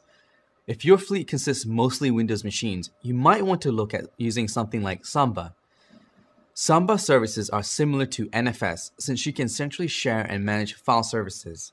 Also, all major operating systems can use a Samba file share. The only reason you might want to consider Samba over NFS is because it works better with Windows operating systems. It also includes other services that can be integrated with your organization, like printer services. We'll talk about printer services in an upcoming lesson. One thing to note is that you may hear the term Samba or SMB. These two are different. SMB is the protocol that Samba implements. You can read more about SMB in the supplemental reading. Fun fact when you create a Windows shared folder, it's actually using the SMB protocol. Samba itself is a software service suite used for file services, which you can also read more about in the supplemental reading. There are lots of other file storage services that you can use, and you can read more about them in, wait for it, the supplemental reading. A relatively affordable solution for file storage hardware is to use a network attached storage or NAS, pronounced NAS, instead of setting up a dedicated server like you would other services. NASs are computers that are optimized for file storage.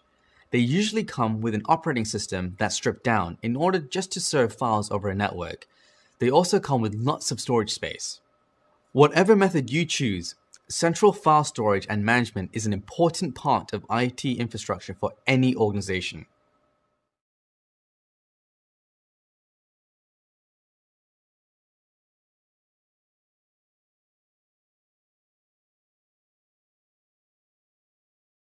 I told you we'd cover printing services, and here we are.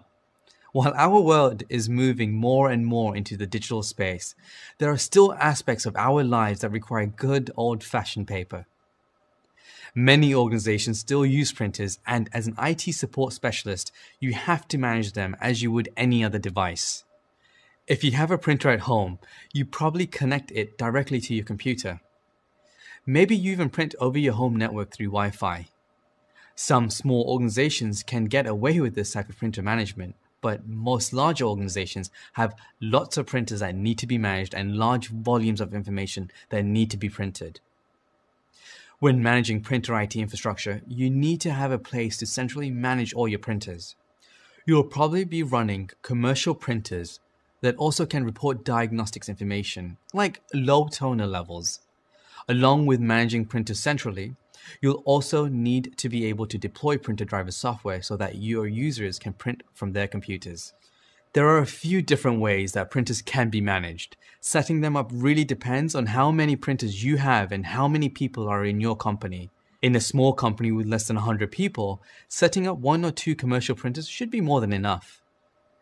To set up a print server, all you have to do is install a print service on a server. Most server operating systems already come with the printer service readily available. For example, let's look at Windows. In the Windows Server operating system, there's a print and document services that can be enabled. All you have to do is add your network printer to this service and install the drivers for those printers. Nice and simple, right? In Linux, a common print server that's usually pre-installed on machines is CUPS, or Common Unix Printing System. Let me show you.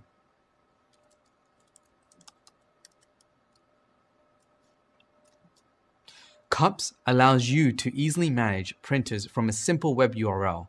You can read more about both the Windows Print and document services and Cups in the next reading. When your print server is set up, you need to add the printer to the client machine. Just search by the printer server name, connect to the device, and start printing. There are lots of ways you can optimize this process. When you start learning about directory services, we'll take you through how to set rules up on machines so that the printer and their drivers are automatically installed on a client computer. Another way you can manage printers is by using a cloud service provider. This allows you to manage your printers through a web browser. It also lets your users print through a web browser so no setup is involved on their machines. Printer setup is pretty easy to do. Most of it depends on what printer service you decide to go with.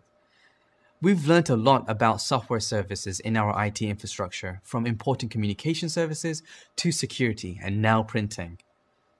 Let's keep charging ahead. In the next lesson, we're going to discuss platform services.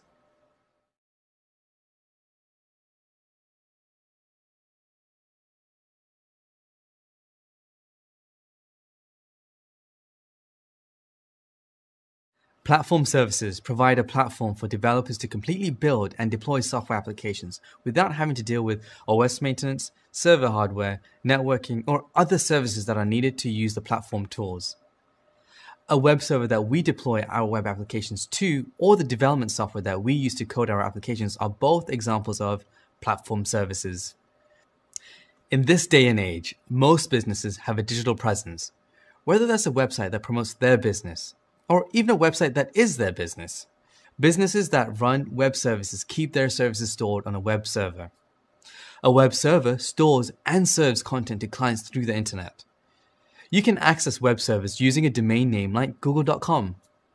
A web server itself stores web files and runs an HTTP service or HTTP server that processes HTTP requests. Remember that HTTP is how the web formats and transfers web pages. You can think of the web server as the physical server that stores web files and the HTTP server software. When your web browser makes a request to fetch a web page from a URL, it sends an HTTP request that gets processed by the HTTP server. Then, the HTTP server sends out an HTTP response with the content that you requested.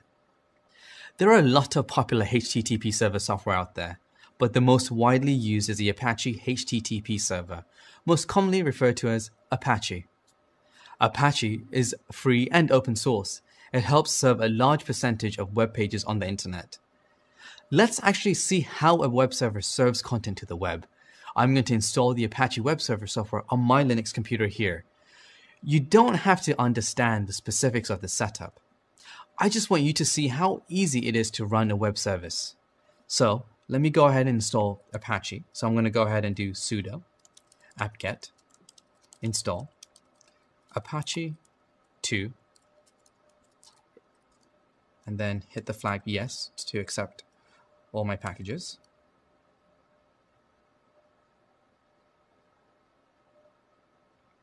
Perfect.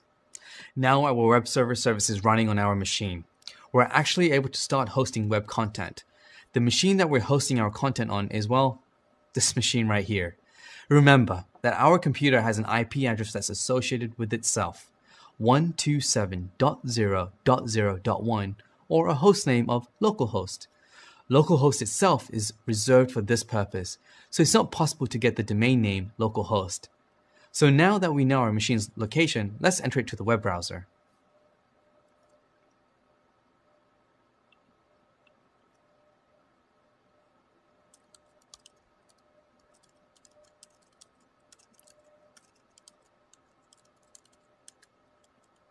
And here it is, our local web server content running on our machine. The files we see here come with the default Apache installation. But if we wanted to upload our own web content, we can just navigate to the directory where this is stored and replace it with our web content. Remember that since this content is hosted on our local machine, we will need to use DNS to let the world know that our web server exists. If you need a refresher on this, feel free to go back to the lesson on DNS services. That's a quick rundown of how web servers work. You can read more about Apache and other HTTP servers in the next supplemental reading. System administrators aren't responsible for creating the content that gets served, but they might be responsible for making sure that content is available. If you're an IT support specialist with a web service that needs to be managed, you should have a pretty good understanding of how it works.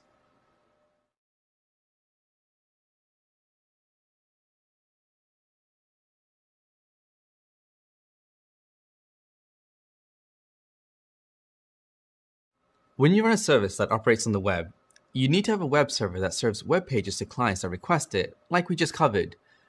But you may also need to store information. Have you ever thought about what happens to your information when you create an account online for a website? Where do they store that info? Do they put it in a folder on a web server? If they do, you need to stop using that service immediately. Customer information, like news articles, videos, large amounts of text, image, or audio files generally get stored in a database. Databases allow us to store, query, filter, and manage large amounts of data. When you build a web product, you'll probably store the data in a database. Database servers consist of database software that's running that you're able to read and write from. Common database systems like MySQL and PostgreSQL are widely used in application and web development and data analytics. These database systems usually require knowledge of special languages or syntaxes to be able to parse and filter through large amounts of data. If you want to dig deeper into database systems, check out the next reading. Administrating and managing a database can be incredibly complex. Losing precious data could cost a company dearly. There's actually an entire job specialization within IT that deals with databases just like that, called database administrators. We won't talk about their role in this program, but if you're interested in learning more, you should know where to look, the supplemental reading.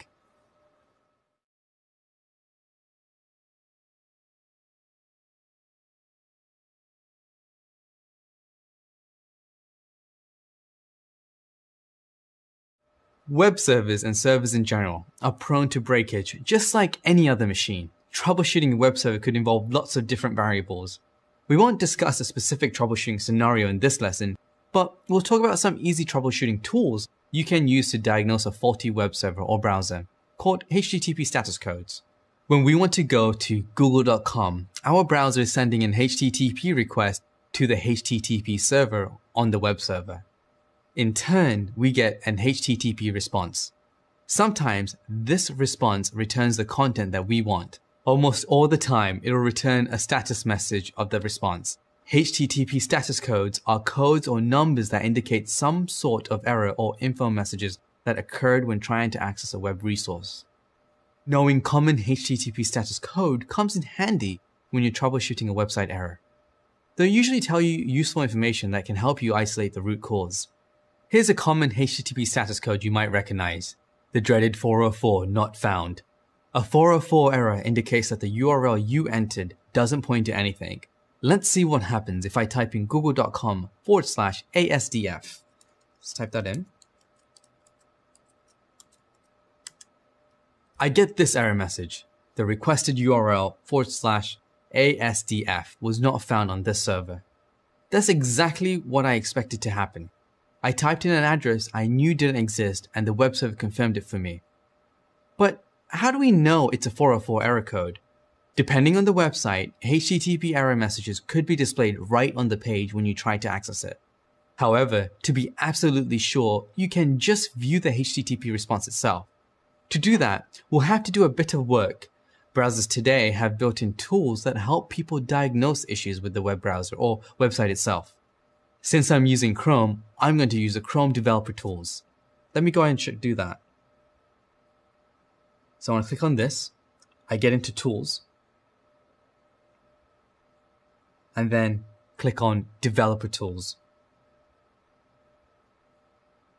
This will open up the Developer Tools side by side to my web browser.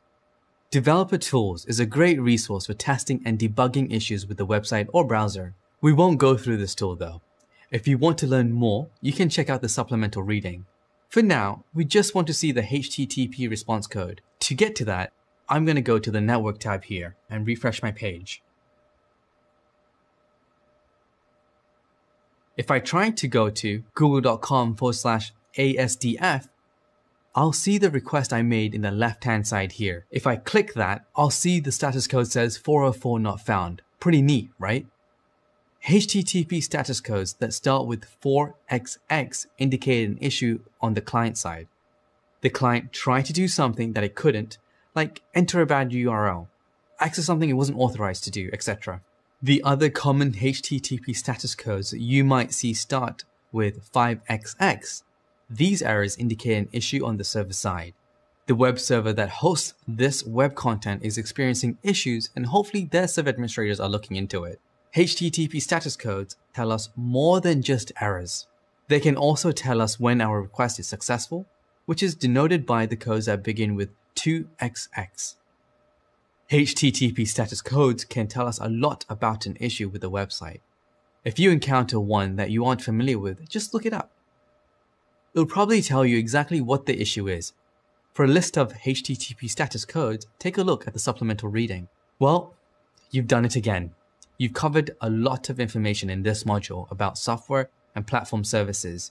You learned about IT infrastructure services that help a business stay productive, like communication services. You learned about security services that keep information secure between web browsers and servers. You also learned about platform services that are used to deliver applications to users. Now you can put that knowledge to the test in a short test we've cooked up for you. In the next module, we'll talk about managing users, computers, and policies using directory services. You're doing an awesome job. I know we covered a lot, but stick with it. You got this.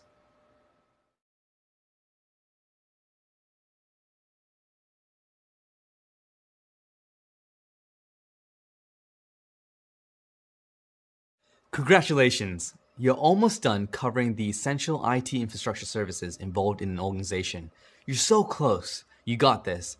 In the last module, we learned about the software services used in an organization like communication software, security, and file storage services.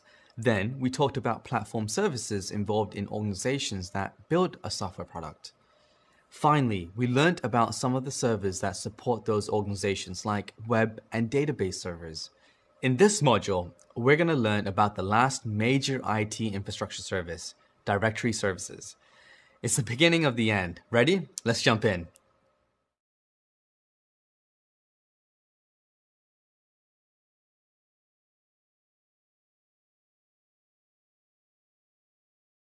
Have you ever looked up someone's phone number in a phone directory? Or used a directory listing at a shopping mall to find a specific store? A directory server essentially provides the same functionality. A directory server contains a lookup service that provides mapping between network resources and their network addresses. It's used to organize and look up organizational objects and entities, ranging from things like user accounts, user groups, telephone numbers, and network shares. Instead of managing user accounts and computer information locally on every machine, all that information can be stored on a directory server for easy access and management.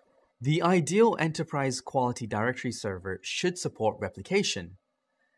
This means that the stored directory data can be copied and distributed across a number of physically distributed servers, but still appear as one unified data store for querying and administering. Why is replication important? It provides redundancy by having multiple servers available simultaneously. So there'll be minimal disruption to the service in the event that one of the server explodes. Replication also decreases latency when you access the directory service. By having replicas of your directory server located in each office, you're able to answer directory service queries more quickly. The directory server should also be flexible, allowing you to easily create new object types as your needs change. Access to the information stored in the directory server database should be accessible from a variety of OS types and from the designated areas of the corporate network. Directory services are useful for organizing data and making it searchable for an organization. This is achieved through the use of a hierarchical model of objects and containers. The containers are referred to as organizational units or OUs, and they can contain objects or more organizational units. This is similar in organizational structure to a file system. OUs are like folders which can contain individual files or objects for a directory service. OUs can also contain additional folders. The management benefits of this structure are pretty clear. Can you imagine trying to keep your music library organized if there was no such thing as subfolders? Crazy! This hierarchical structure can be used to convey additional information about what's stored within. Take your directory structure as an example. You may have an OU called users, which contains all user accounts. Within this OU, there could be additional OUs which represent the actual team structure of your organization. The users OU could contain additional OUs like sales, engineering, and marketing, which include the user account objects for the individuals that belong to these teams. This structure can be used to convey differences between these sub-OUs of users. For example, we could enforce stricter password requirements for members of engineering without affecting sales or marketing. Sub-members inherit their characteristics of their parent OU, so any changes made to the higher level users OU would affect all sub-OUs, including sales, marketing, and engineering. Someone with the responsibilities of a systems administrator, whether that's a system admin or an IT support specialist, would be responsible for the setup, configuration, and maintenance of the directory server. This includes the OS itself, on which the directory service would run. Standard OS management tasks are involved here, like ensuring that updates are installed and configuring standard services. Other responsibilities include the installation and configuration of the directory service itself, so installing the service and configuring any related services. If multiple servers are used in a replication setup, this needs to be configured too. It's very likely that the hierarchy and overall structure of the directory itself would also be up to the sysadmin to design and implement. Well, that covers the high-level overview of what exactly a directory service is. We'll dive deep into more specific details later in this course. But for now, let's review some of the concepts we just covered with the short quiz. Then let's meet back at the next video where we'll do a more detailed rundown on how to implement directory services.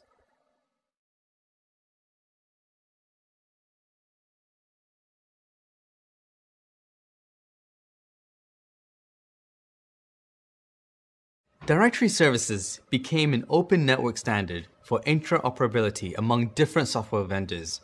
In 1988, the X.500 directory standard was approved and included protocols like Directory Access Protocol or DAP, Directory System Protocol or DSP, Directory Information Shadowing Protocol or DISP, and Directory Operational Bindings Management Protocol or DOP.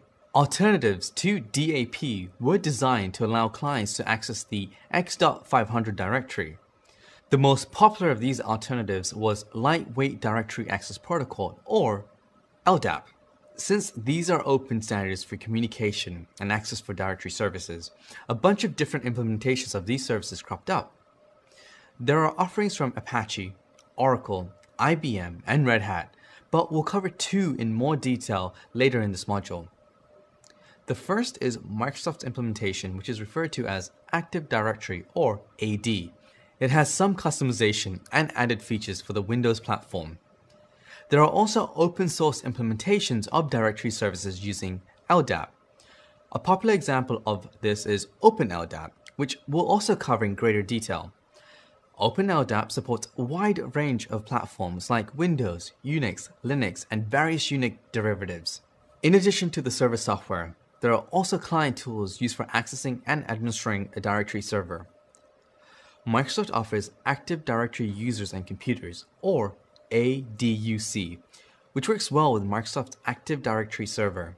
There are also other more open tools that can be used to interface with a lot of other directory server implementations. Along with clients for administering and managing a directory server, there are also client applications that can interface with and query a directory server. All major OS platforms support integrating into a directory server for login and authentication purposes. The advantage here is that this allows for centralized management of user accounts. We'll cover the details of centralized management in the next lesson, so don't worry too much about that right now. When looking at specific implementations for your directory server, you'll want to consider OS support, not just the server that will be running the directory service itself, but also what OSs your client fleet runs and the compatibility or support for your directory services. You can read more about why this is important in the next reading.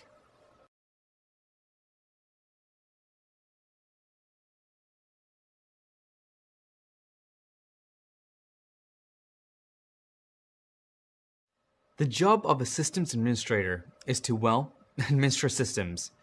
Sysadmins have a set of systems they're responsible for, and they have to manage those systems so they're available to serve their function to the organization.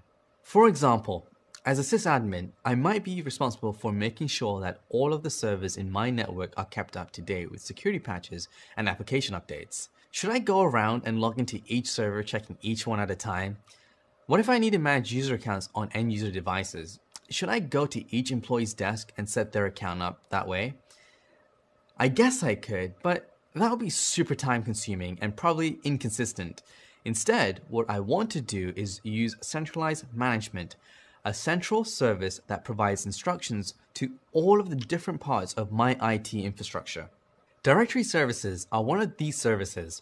Remember in earlier lessons when you created accounts and gave them access to resources on your computer? Imagine that you work for an organization that has dozens, hundreds, or even thousands of computers and people who use them.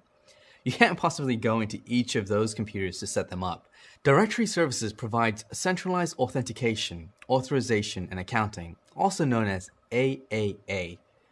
When computers and applications are configured to use directory services for AAA services, Decisions about granting or denying access to computers, file systems, and other IT resources are now centralized.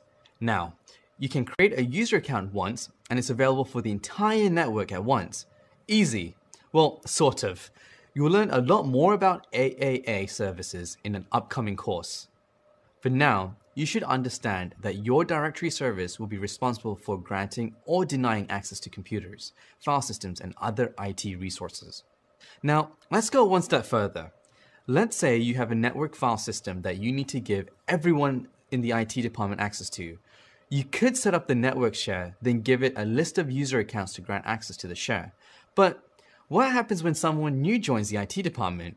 What about when someone leaves? Instead of granting access based on who you are, what if you granted access based on what you do? In most organizations, access to computer and network resources is based on your role in the organization.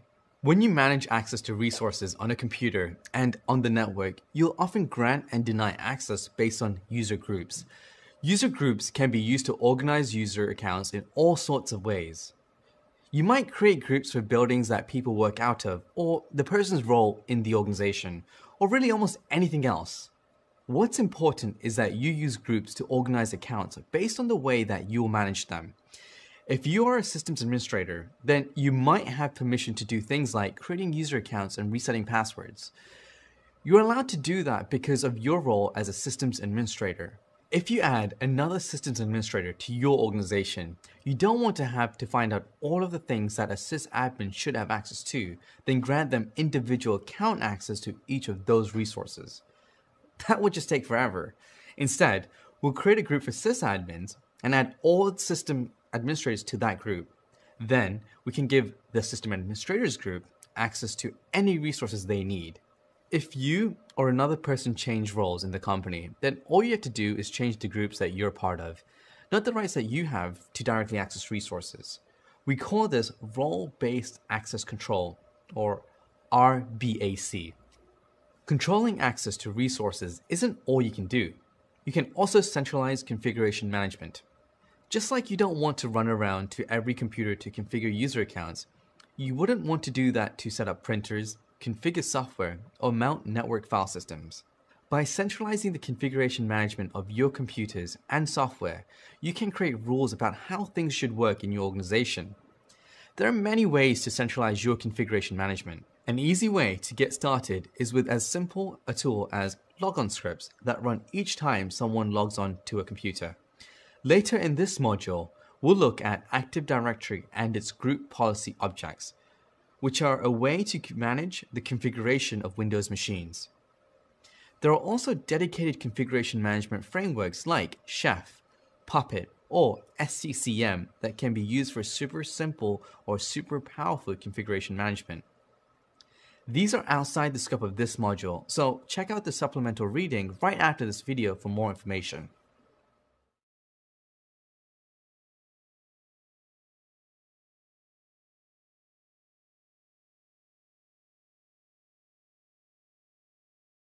Before we jump into directory services, Let's talk about the underlying protocol that's used in directory services called LDAP or Lightweight Directory Access Protocol.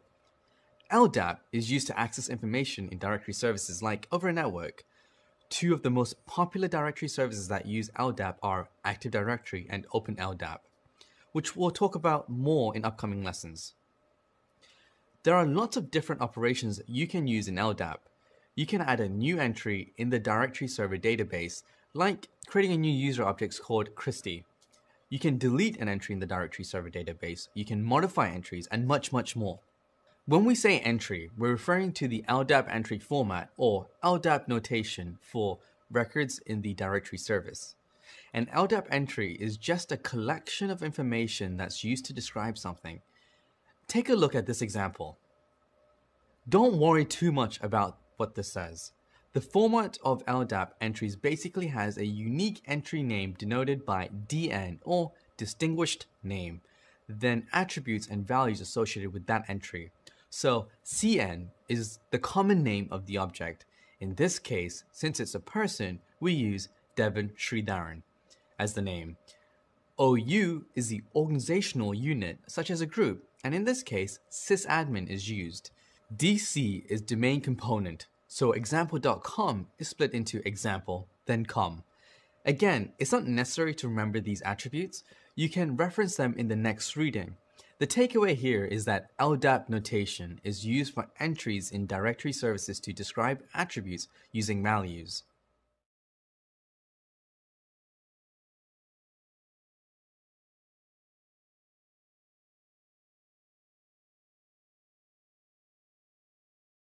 If you were around when phone books were used, you might remember that these big old books contained the names, addresses, and phone numbers of people in your neighborhood or community who wanted their information to be publicly listed. This is way different from the phone book or contact list you have in your mobile phone. The people who are in your contacts directory gave you their phone numbers for your use only. When using LDAP, there are different authentication levels that can be used to restrict access to certain directories, similar to those big public phone directories or those private mobile phone directories. Maybe you have a directory that you want to make public so anyone can read the entries in the directory, or maybe you just want to keep that data private to only those who need it. We'll discuss how LDAP does this authentication and what methods it uses. We talked about the different operations you can do with LDAP, like add, remove, or modify entries in a directory.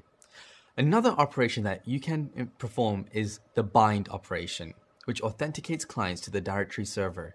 Let's say you want to log into a website that uses a directory service. You enter your account login information and password. Your information is then sent back to the website. It will use LDAP to check if that user account is a user directory and that the password is valid. If it's valid, then you'll be granted access into that account. You want your data to be protected and encrypted when it's completing this process. There are three common ways to authenticate. The first is anonymous, then simple, and the last is SASL, or Simple Authentication and Security Layer. When using anonymous binding, you aren't actually authenticating at all. Depending on how it's configured, anyone could potentially access that directory, just like our public phone book example. When you use simple authentication, you just need the directory entry name and password. This is usually sent in plain text, meaning it's not secure at all. Another authentication method that's commonly used is SASL authentication. This method can employ the help of security protocols like TLS, which you've already learned about, and Kerberos, which we'll discuss in a minute. SASL authentication requires the client and the directory server to authenticate using some method. One of the most common methods for this authentication is using Kerberos. Kerberos is a network authentication protocol that is used to authenticate user identity, secure the transfer of user credentials, and more. Kerberos by itself can be a complex topic that we'll revisit in the IT security course. If you want to learn more about Kerberos right now, you can check out the supplemental reading right after this lesson. Once the client has successfully authenticated with the LDAP server or directory service, the user will be authorized to use whatever access levels they have. In the next few lessons, we're going to go dive deeper into two of the most popular directory services that use LDAP, Active Directory and OpenLDAP. The hardest part of my career has easily been joining Google. I joined in 2002 when the company was quite small. All men, for the most part. I was the only woman in the room most of the time. And the way I got through it was to find that thing that I wanted to be the expert at, find the thing I wanted to achieve, and to really focus on that every day. Break it down into small pieces, celebrate your milestones when you hit them. And then at the end, I had achieved something that no one else in the team could have.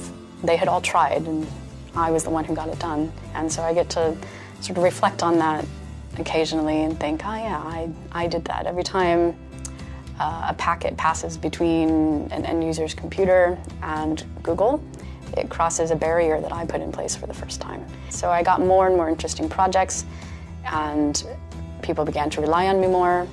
And it really helped me overcome the shyness. It helped me overcome my questioning of whether or not I belong here. Because I actually got to contribute in a meaningful way.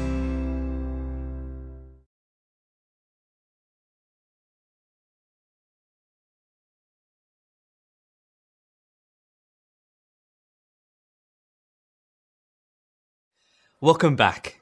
In this lesson, we'll learn more about Active Directory, or AD, the native directory service for Microsoft Windows. Active Directory has been used to centrally manage networks of computers since it was introduced with Windows Server 2000.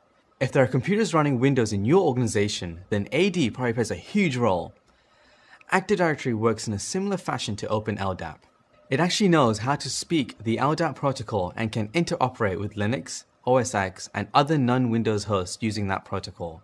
When you use Active Directory to manage a fleet of Windows servers and client machines, it does a lot more than just provide directory services and centralized authentication. It also becomes the central repository of group policy objects or GPOs, which are ways to manage the configuration of Windows machines. We'll show you how to do this later in this lesson. Now, let's take a look at a typical Active Directory domain and see what it contains. Active Directory administration relies on a whole suite of tools and utilities. We're going to use a tool called the Active Directory Administrative Center, or ADAC. ADAC is a tool that we'll use for lots of the everyday tasks that you'll learn in this course. It's great for getting work done and for learning how things work behind the scenes, as you'll see. Remember that, much like file systems, directory services are hierarchical. Everything that you see in Active Directory is an object, some objects are containers, which can contain other objects. So several of the default containers are just called containers, and they serve as default locations for certain types of objects. Another type of container is called an organizational unit, or OU, which we talked about in an earlier lesson. You can think of an OU like a folder or directory for organizing objects within a centralized management system. Ordinary containers can't contain other containers, but OUs can contain other OUs. That's a little confusing, so to show you the hierarchical structure of AD better, I've clicked this button over the left-hand pane to switch ADAC to tree view. There are lots of things listed here. ADAC tells us what kind of object each of these are and gives us a description for some of them. We're not going to work with all of these, but we want to call out some parts of the directory that are more common to work with. The very first node in this tree is our domain. A domain will have a short name like example and a DNS name like example.com.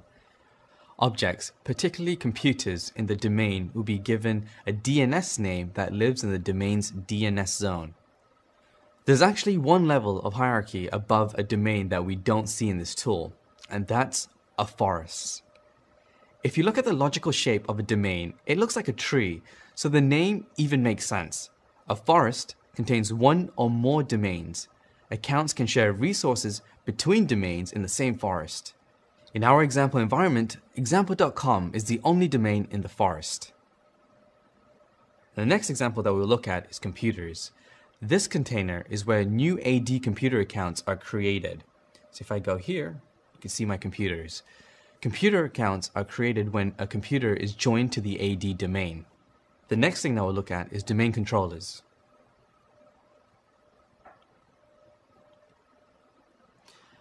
This container is where domain controllers are created by default. Next, we'll look at users. This container is where new AD users and groups are created by default. The servers that host copies of the Active Directory database are called domain controllers or DCs. Domain controllers provide several services on the network. They host a replica of the Active Directory database and group policy objects. DCs also serve as DNS servers to provide name resolution and service discovery to clients. They provide central authentication through a network security protocol called Kerberos. As I mentioned, we'll talk more about Kerberos in the IT security course. For now, what you should understand is that domain controllers get to decide when computers and users can log onto the domain. They also get to decide whether or not they have access to shared resources like file systems and printers. This allows system administrators to make changes to the network really quickly and easily. If someone new joins the organization, sysadmins can create a user account for them and almost immediately every device on the network knows who that person is. If someone changes jobs in the org or leaves, a sysadmin can disable or delete their account and within seconds their access to devices adjust. It's common for most domain controllers in the Active Directory network to be the read-write replicas. This means that each have a complete copy of the AD database and are able to make changes to it. Those changes are then replicated to all other copies of the database on other DCs. Replication is usually quick, and the last change wins in almost all cases. This isn't perfect, but it works for most tasks. Some changes to the AD database can only be safely made by one DC at a time, we task those changes to a single domain controller by granting it a flexible single master operations or also known as FSMO role. We won't go into depth here on the nitty gritty details around what each of these FSMO roles are responsible for and how they operate, but you can check out the next reading for more. If your job will involve domain controller management, you'll need to understand how to assign FSMO roles and recover from DC failure. In order for computers to take advantage of the central authentication services of AD, they have to be joined or bound to Active Directory. Joining a computer to Active Directory means two things. The first is that AD knows about the computer and has provisioned a computer account for it. The second is that the computer knows about the Active Directory domain and authenticates with it. From that point forward, the computer can authenticate to Active Directory just as any users who log onto the computers are able to.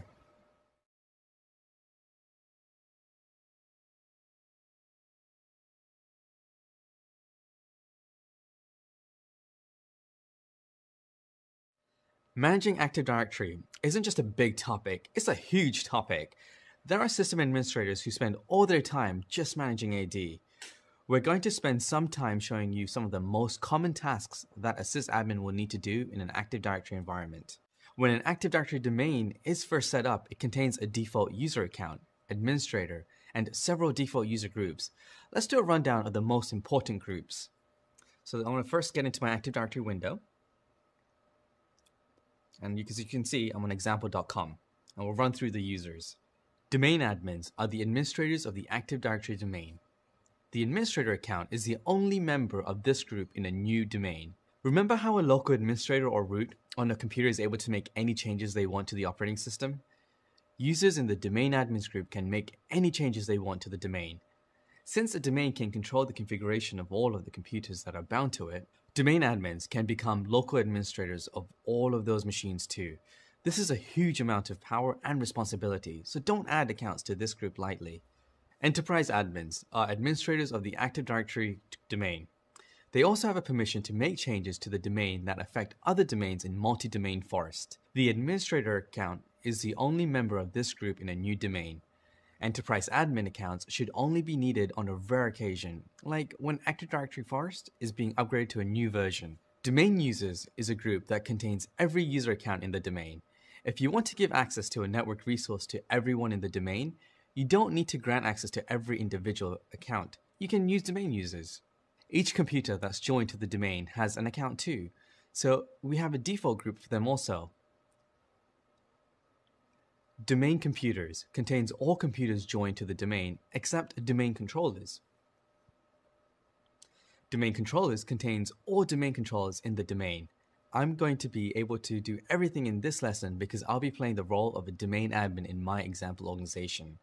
As a systems administrator or IT support specialist, you might also be a domain admin or enterprise admin. Because of the power that gives you to make changes in Active Directory, you should never use a domain admin account as your day to day user account. It's too easy to make a mistake that affects the entire organization. Domain admin accounts should only be used when you're deliberately making changes to Active Directory. Got it? Your normal user account should be very much like other user accounts in the domain, where your permissions are restricted just to those resources that you need to have access to all the time. If there are some administrative tasks that you need to perform a lot as a part of your day to day job, but you don't need to have broad access to make changes in AD, then delegation is for you. Just like you can set NTFS DACLs to give accounts permission in the file system, you can set up ACLs on Active Directory objects. If you'd like to learn more about this more advanced topic, check out the next reading. Let's start administering Active Directory. First up, we'll take a look at user account administration.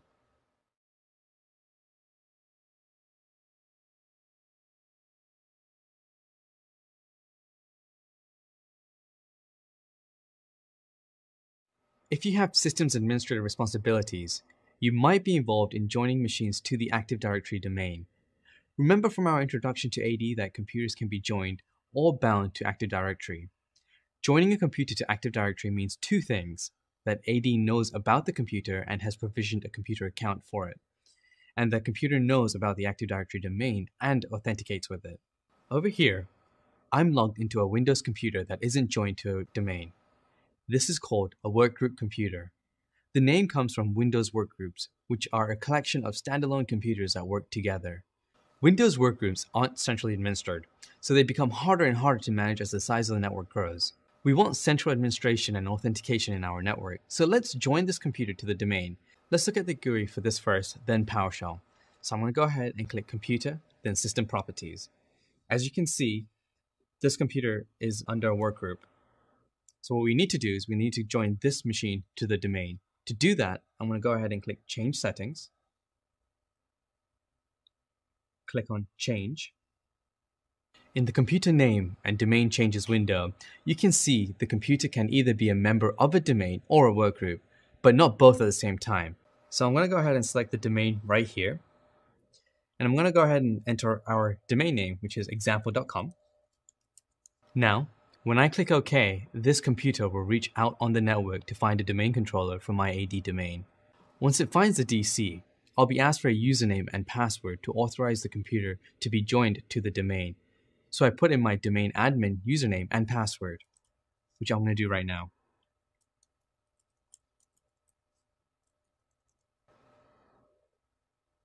Voila, there you go. My machine is now joined to my domain. The domain controller creates a computer account in the domain for this computer, and this computer reconfigures itself to use AD authentication services. This will require a reboot, so let's jump over to the Active Directory Administrative Center to see what it looks like on that end. All right, so I'm at my Active Directory window. I'm gonna go ahead and click Computers. And all right, there it is. I can see my computer in the computers container. Now, my new computer will use this Active Directory domain for authentication, and I can use group policy to manage this machine. We can join computers to the domain from PowerShell too. I've got this computer over here that also needs to be joined to the domain. So let's use the CLI this time. So I'm going to go ahead and type in add computer, then domain name, example.com, and server that I'm going to connect to, DC1. That was nice and simple. Now I'm prompted for my credentials again, which I'm going to enter.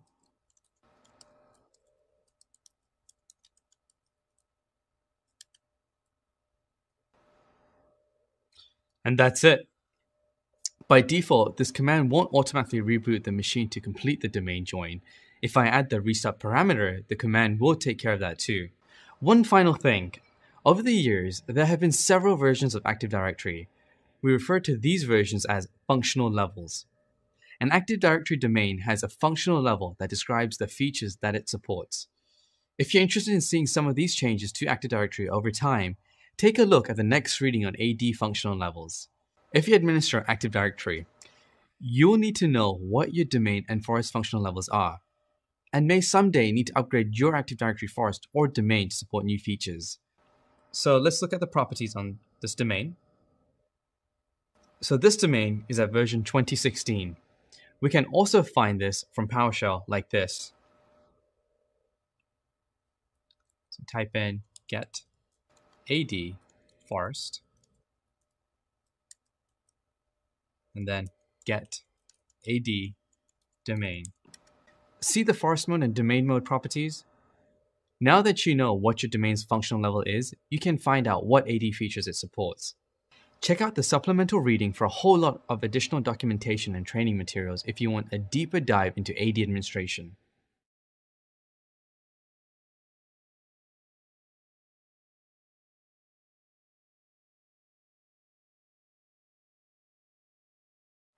Alright, now that we've joined all these computers to our domain, what are we going to do with them?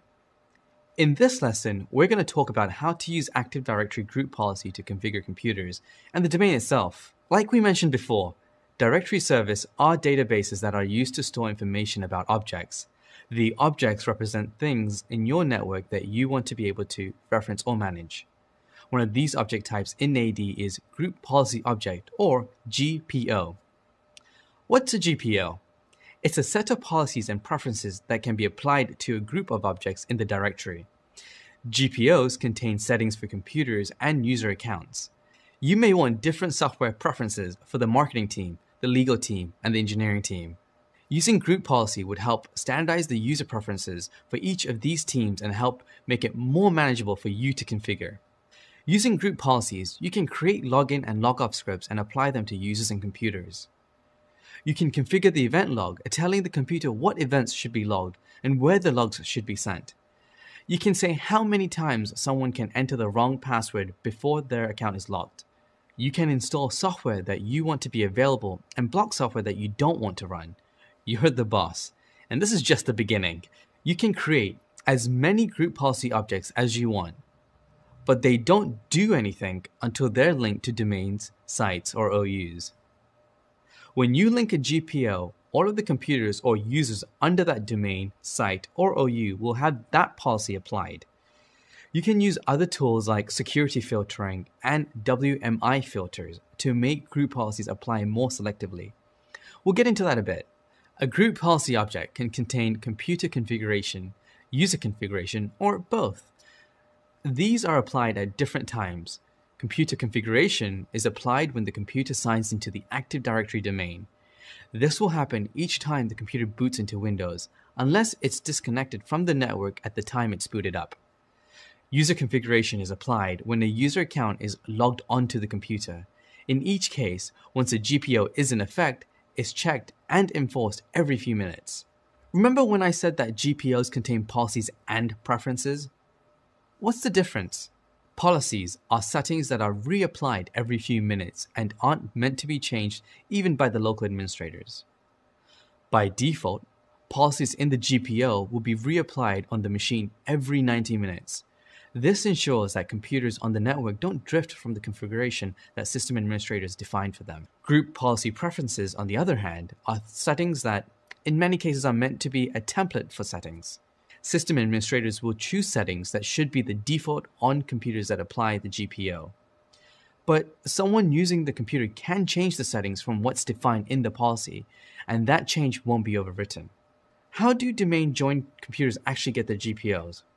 When a domain joined computer or user signs into the domain by contacting a domain controller, that domain controller gives the computer a list of group policies that it should apply. The computer then downloads those policies from a special folder called sysvol that's exported as a network share from every domain controller.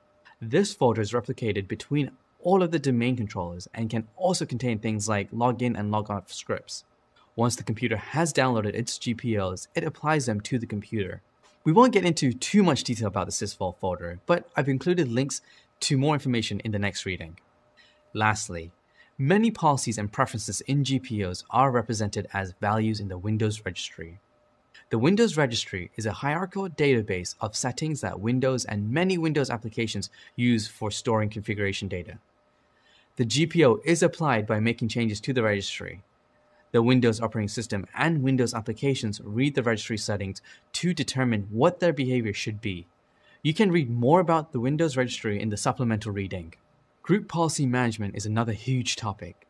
We'll only cover the basics of it in this course.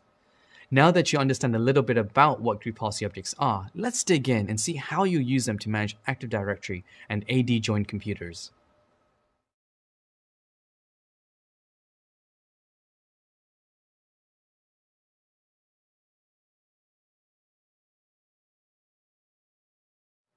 The most important tool we'll use for creating and viewing group policy object is called the Group Policy Management Console, or GPMC. You can find this in the Tools menu of Server Manager or by running gpmc.msc from the command line. You can see that the layout of GPMC is similar to other management tools that we've used in Active Directory. On the left, we see the structure of Active Directory, GPMC adds several containers to its GUI. These aren't AD containers I'll use, they are management interfaces that only show up in GPMC. The group policy objects container will hold all of the GPOs that are defined in the domain. The WMI filters container is used to define powerful targeting rules for your GPOs. These filters use properties of Windows Management Instrumentation, or WMI, objects to decide whether or not a GPO should apply to a specific computer. This is a more advanced topic, but if you want to dive in a little deeper, check out the link in the supplemental reading. Group Policy Results is a troubleshooting tool that's used to figure out what group policies apply to a computer and user in your network. You would use this tool to check on group policies that are already applied to a computer or user. On the flip side, group policy modeling is used to predict which group policies will apply to a computer or user in your network. You'd use this tool if you wanted to test a change to your GPOs, OUs, or WMI filters before making real changes in your Active Directory. We'll go into each of these in detail as the lesson goes on. You might have also noticed that there are a couple of things missing. Remember that the users and computer containers are not organizational units. Group policy objects can only be linked to domain, sites, and OUs. If computer and user objects are in the default containers, they can only be targeted with GPOs that are linked to domains and sites. It's a good practice to organize your user and computer accounts in OUs so they can be targeted with the more specific group policies. Now, let's get started with Group Policy Objects node in GPMC and take a quick look at a GPO that already exists. In a brand new Active Directory domain, there'll be two GPOs that are automatically created. The default domain controller policy and the default domain policy. The default domain policy is, as you might guess, a default GPO that's linked to the domain. It applies to all of the computers and users in the domain. The default domain controller policy is linked to the domain controller's OU and applies, you guessed it, to the domain controllers. What we're looking at here is a settings report for the default domain policy. This GPO is designed to enforce policy decisions that we want to make for the entire domain. For example, the minimum password length policy prevents users from setting passwords that are too short. The audit account logon events policy says that the computer should create a Windows event for each successful and failed logon attempt. There are thousands of settings that can be controlled with GPO, so it can take some research to find the right setting to change in a group policy object to make a change that you want. Group policy has been around through several versions of Windows, and sometimes things aren't exactly where you expect to find them. Don't despair. There are lots of documentation online about group policies and where to find specific settings. Pro tip Something that you might find super useful are the group policy settings reference that Microsoft releases with each new version of Windows. This reference is a spreadsheet that details the GPO policies and preferences that are available and where to find them. Next, let's try changing one of the settings in our default domain policy. Before we get started, I'm going to make a backup of the GPO. I'll right click on the policy and choose backup. I've created a GPO backup folder on my desktop, but in a real environment, we'd want to create a network folder that's locked down to only allow domain administrators to access it. I can add a description here too to help me remember why I made the backup. Then I complete the backup wizard and I'm done. Now, I know that if I make a mistake, I can restore the policy from backup. So I'll right click on the policy again, but this time I'm choosing edit. This will open up the default domain policy into the Group Policy Management Editor. You can see over in the left-hand pane that the GPO is divided into two sections, computer configuration, and user configuration. Each of these is divided into policies and preferences. Inside this tree of policies and preferences is every individual GPO setting that GPMC knows about, whether it's been configured or not. Every GPO has access to the same settings that every other GPO has access to. There aren't special GPOs. Even so, it's a good practice to make different GPOs that each address a specific category of need. For example, you might have a GPO that handles all of the settings for a specific group of users, or one that handles security policies for the whole domain. With specific GPOs for specific solutions, you can link your GPOs to only the computer or users that need that policy. Since you're working with the entire universe of group policy in every GPO, it can be very difficult to tell from the editor what settings are actually configured in this GPO. We'll refer back to the settings report in GPMC for that information. It looks different, but you might notice that the settings report is laid out in the same hierarchical fashion as the GPO editor. I can see that the account lockout threshold is configured to zero invalid logon temps. Let's take a look at that policy in the GPO editor. I'm going to use a settings report as a roadmap to finding that policy in the editor. So let me show you how.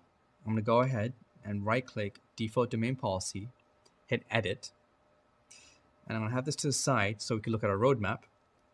So as you can see, computer configuration. So I click computer configuration, then click policies, click Windows settings. I'm going to click security settings, and then account policies because we're interested in the lockout policy. You can see that there are three policies under account lockout policy. The policy column tells us the name of the policy, and the policy setting tells us the current configuration of the policy. If a policy is not defined, then this GPO won't make any changes to that setting on the computers that it's applied to. The policy name is pretty easy to understand, but I'm not sure that I understand all of the consequences of changing those values. If I double click on any of these policies, it will open up the properties dialog for that policy. Oh, what's this? There's an explain tab here. Awesome.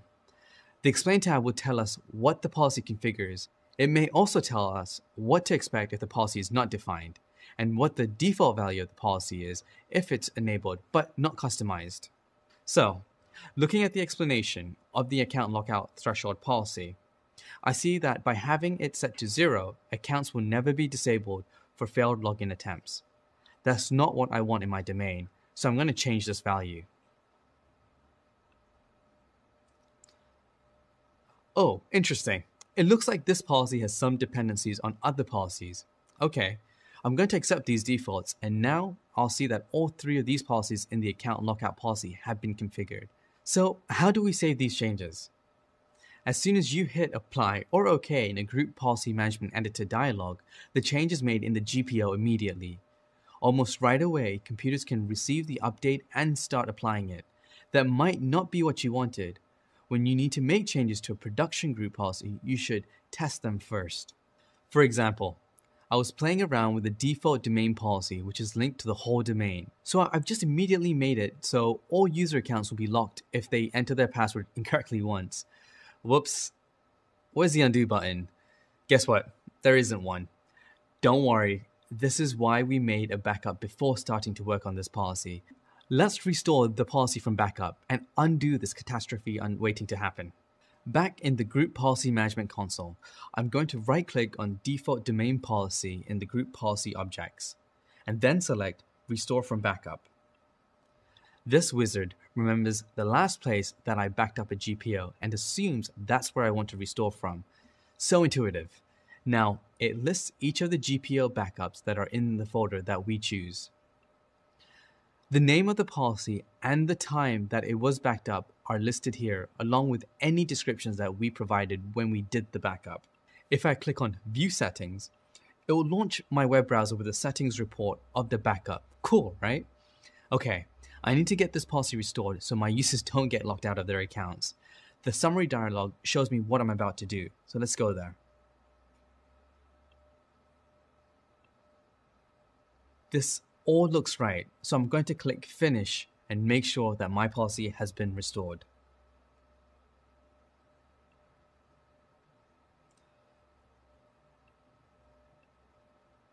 Perfect. My backup has been restored and my mistake has been undone. As you've seen in this example, before making changes to a GPO, you should always back it up. But what's another way I could have prevented this mistake? That's right, I could have tested my changes. There are lots of ways to do this. I'll summarize some simple steps here and provide additional documentation in the supplemental reading. Some organizations will have established best practices for testing GPO changes in their environment. If that's the case, then you should follow those standards. You might need to follow a change management process too, in order to notify others in the organization about the changes that you are about to make. What I'm going to show you is just one way of adding some safety to GPO changes. Let's say I have a GPO called example policy. Good name, right? I want to make changes to example policy, but I want to test the changes first to make sure that I don't break production machines. First, I set up a testing OU that contains test machines or user accounts if example policy is usually linked at example.com finance then computers, then I can create example.com finance computers test and put testing machines in the test OU. This lets the test machines keep all of the existing production GPOs, but gives me a place to link a test GPO that will override production. Let me go and show you how I do that. So I'll click example, click new, click OU, then type in finance, and click OK. Then create another OU for my computers.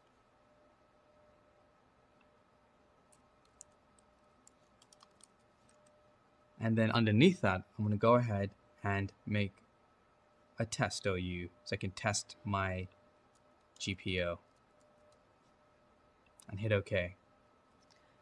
Next, I make a copy of the GPO that I want to change and call it something like test example policy. Let me show you how I do that.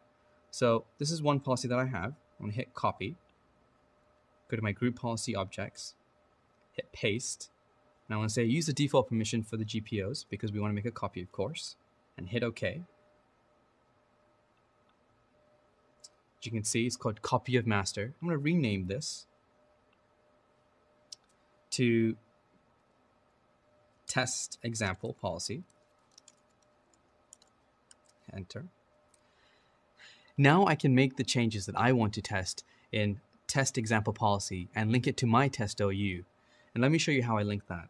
I'm going to go into my OU finance, computers, and then test, right click test, and then I say link an existing GPO, which is going to be my test example policy right here, and then hit OK. After I confirm that my changes work the way that I expected, I can make a backup of the test policy, then import the backup of test example policy to the production example policy. This makes some extra work for me since I'm a systems administrator, but I also benefit from added safety and peace of mind. By testing my changes on a copy of the GPO on test machines, I make it much harder to accidentally break production machines. Your organization might be using Advanced Group Policy Management or AGPM which is a set of add-on tools from Microsoft that give you some added revision control abilities in GPMC. If you do use AGPM in your organization, you should follow best practices for GPO version control using AGPM. I've included a link to those best practices in the next reading. We've edited a GPO and seen some ways to make editing GPO safe. Now, we need to know a bit more about how to understand all of the policies that are applied to a specific machine or user account. Next up, GPO inheritance and precedence. I'll see you there.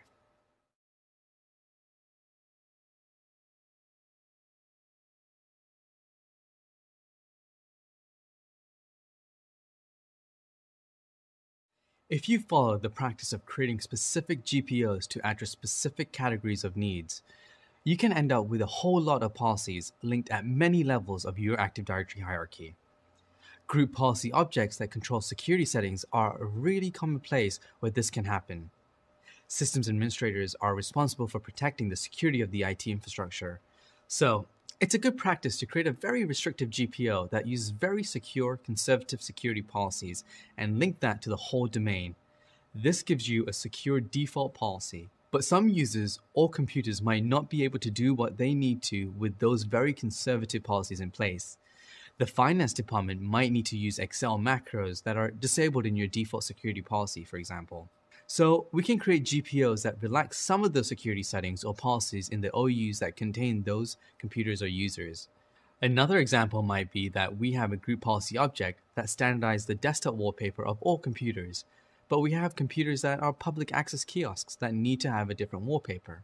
In any of these cases, you can have computers or user accounts with multiple GPOs assigned to them that contradict one another by design. So what happens when there are two or more contradictory group policy objects that apply to the same computer?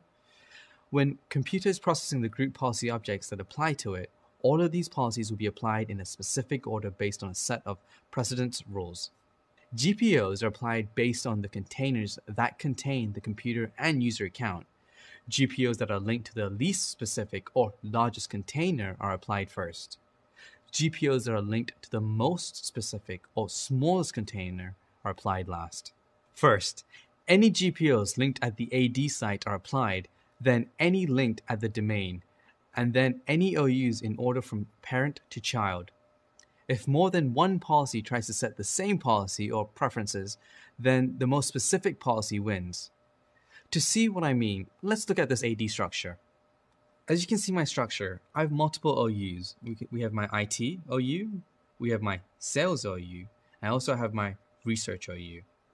And I also have my sites in Australia, India, and North America. If you have a computer in the India site and the example.com sales computer OU, then Active Directory would apply group policy objects that are linked to the India site, the example.com domain, the sales OU, and the computers OU in that order. That's not all though you can actually link multiple GPOs to the same container. How does AD decide which order to apply the GPOs in, if there are more than one in a container? Each container has a link order for the GPOs that are linked to it. So let's look at our sales OU. The sales OU in our example domain has a GPO for network drive mapping and a GPO for configuring network printers. The link order of each policy determines which GPO takes precedence. The highest number is the lowest ranked GPO, so its settings are applied first. Network printers, sales is applied first, and network drives, sales is applied last. If anything, the network drive policy contradicts the network printer policy, then the drives policy wins out. Let's summarize this so far. The highest numbered link order in the least specific container is applied first and the lowest numbered link order in the most specific container is the last GPO applied. The last GPO to modify any specific setting wins. In the Group Policy Management console, we can see the precedence rules in action.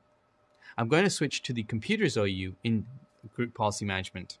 I can see that there's a policy linked here called Computer Security Policy. I want to increase this.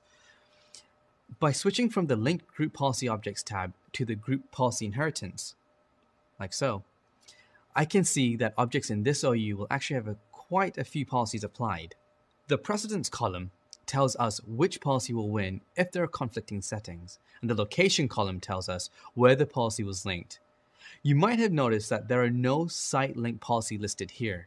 That's because you can have computers from many different AD sites in the same OU. So Site-based GPO links aren't represented in this summary.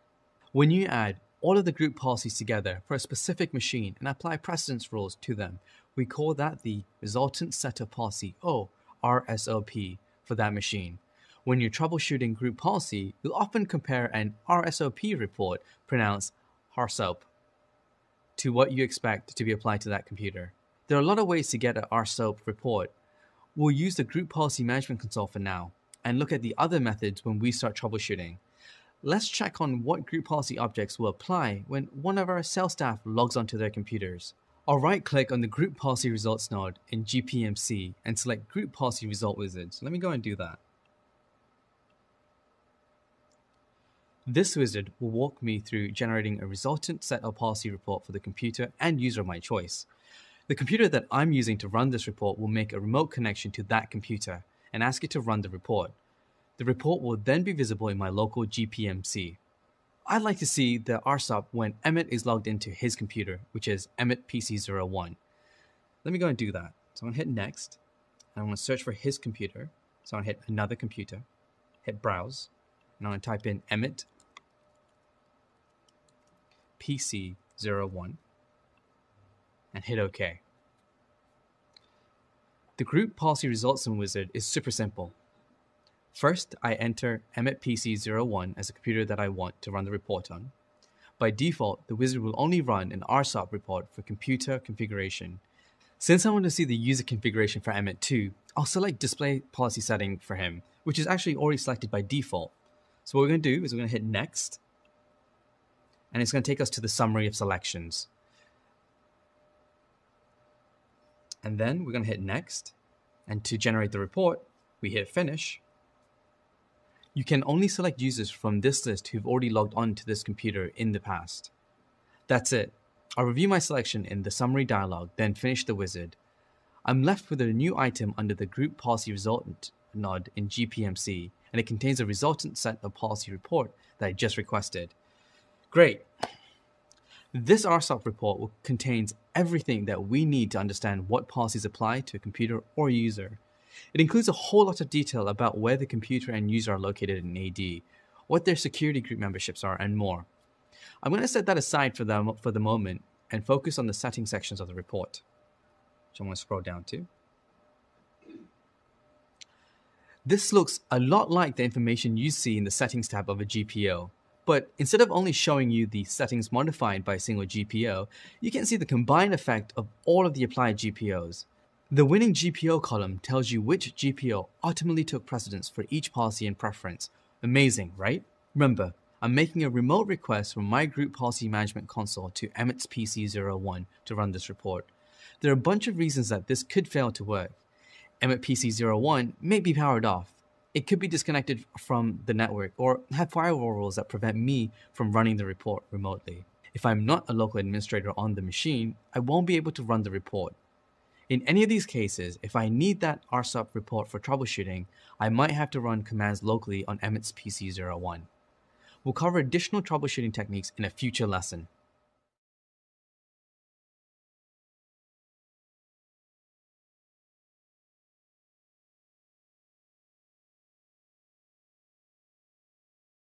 As a systems administrator or IT support specialist, you might be called on to troubleshoot issues related to Active Directory. Let's go through some of the most common troubleshooting tasks that you may encounter. This lesson will introduce you to tools that will help you troubleshoot these scenarios. Keep in mind, these are only examples. Since we're working with complex systems, there are lots and lots of ways for things to not work. Your greatest tool is to learn about these systems and understand how they function. Thoughtful troubleshooting and research are your friends. One of the most common issues you might encounter is when a user isn't able to log into their computer or isn't able to authenticate to the Active Directory domain. There are many reasons this might happen. They may have typed their password with cap locks button on. They may have locked themselves out of their computer, accidentally changed a system setting, or it could be a software bug. It's important to think about the steps to troubleshoot and remember to ask questions about what happened make sure to look at the exact conditions under which the failure occurs and any error message that accompany the failure. This should be enough information to get you started down the right path to troubleshoot. Let's just talk for a moment about the most common types of failures that can lead to a user account authentication issue. As we discussed in an earlier lesson, if a user enters a wrong password several times in a row, their account may be locked out. People sometimes just forget their passwords and need the assistance of an administrator to sort things out. Make sure to review our earlier lesson on managing user and groups in Active Directory if you need a refresher on resetting user passwords. If a domain computer isn't able to locate a domain controller that it can use for authentication, then nothing that relies on Active Directory authentication will work. If you remember from the customer support module in the first course, anytime you troubleshoot an issue, start with the simplest solution first. This could be a network connectivity issue and nothing specific to Active Directory at all. If the computer isn't attached to a network that can route communications to the domain controller, then this must be fixed. You also learned about network troubleshooting techniques in an earlier module, so we won't repeat any of them here. Any networking issue that would prevent the computer from contacting the domain controller or its configured DNS servers, which is used to find the domain controller, could be an issue. Now, why is DNS so important? In order for the computer to contact a domain controller, it needs to find one first. This is done using DNS records. The domain computer will make a DNS request for the SRV records matching the domain that it's been bound to. If the computer can't contact its DNS servers, or if those DNS servers don't have the SRV records that the computer is looking for, then it won't be able to find the domain controller. The SRV record that we're interested in are underscore LDAP dot underscore TCP dot DC dot underscore MSDCS dot domain dot name where domain name is the DNS name of our domain. So I'm going to go ahead to my PowerShell and I'm going to go ahead and type in resolve dash DNS name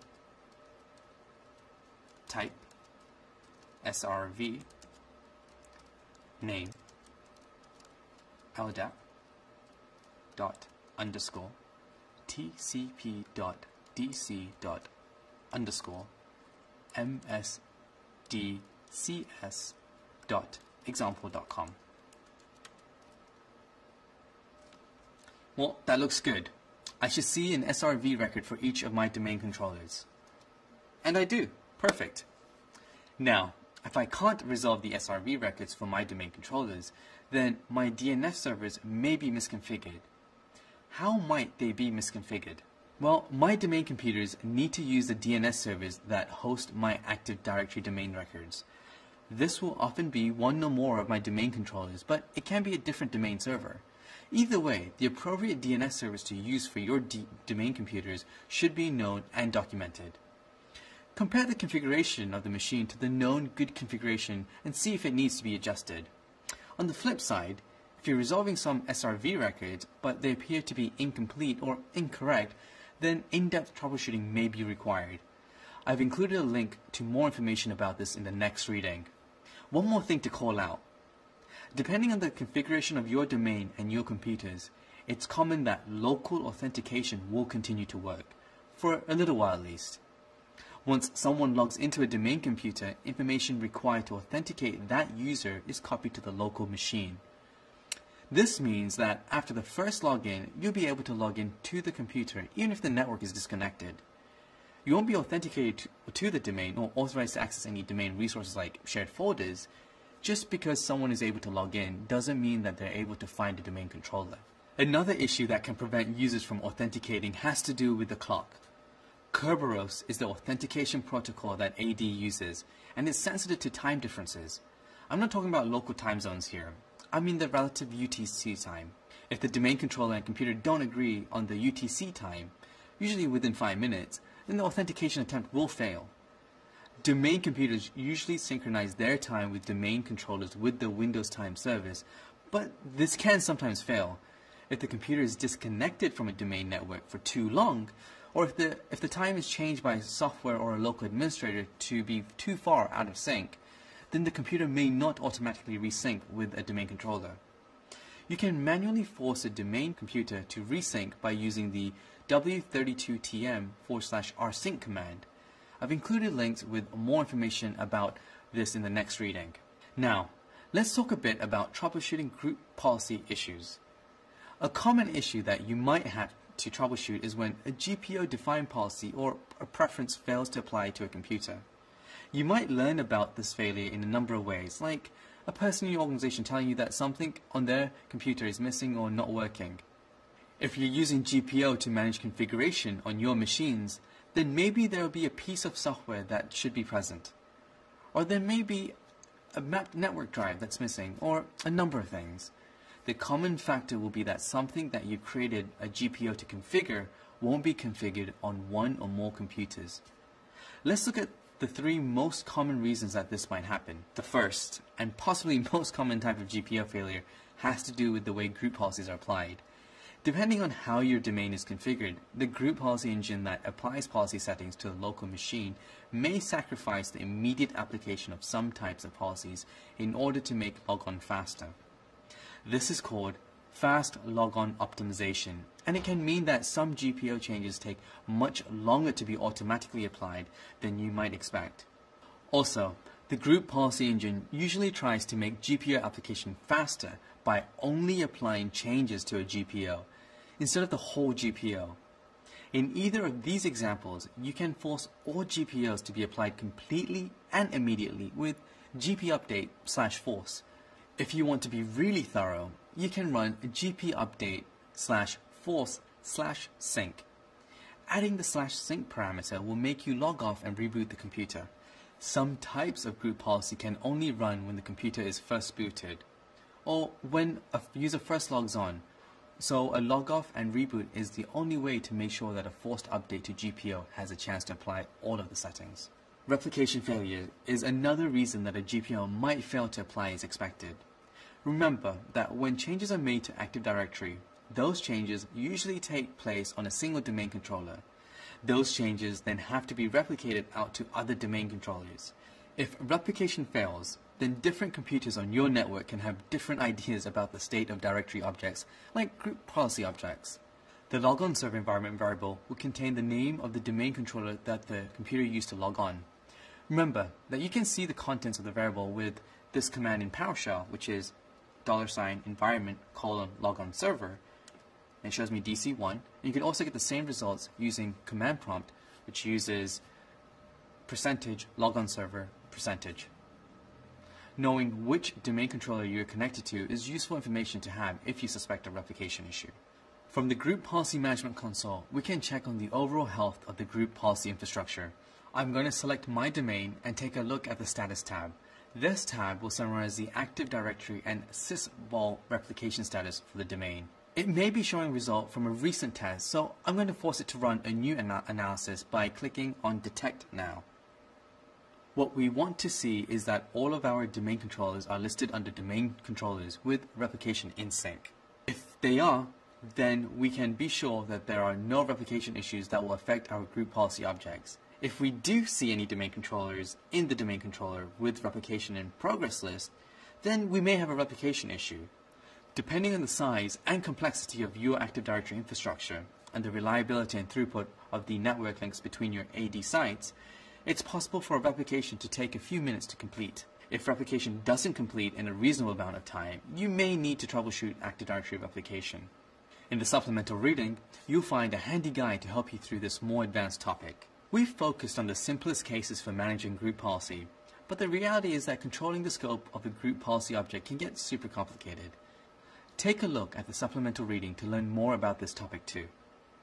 If you're trying to work out why a particular GPO isn't applying to a computer, the first thing to do is to run the resultant set of policy or RSOP. You can use the Group Policy Management console like we did in an earlier lesson, or you can run a command on the computer directly to generate the report. The GP result command will help us out there. If I run gp result forward slash r, you can see that I get a summary report in my terminal. Let me go ahead and show you that.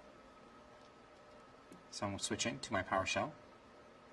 gp result forward slash r. The report's being created, and I get this report. If I want the full report, like I get from my GPMC, I can run gp result forward slash h file name.html. I want to do gp result forward slash h and then test dot html. This will give me a report that's an HTML web page that I can open in my browser. So let me go and get that.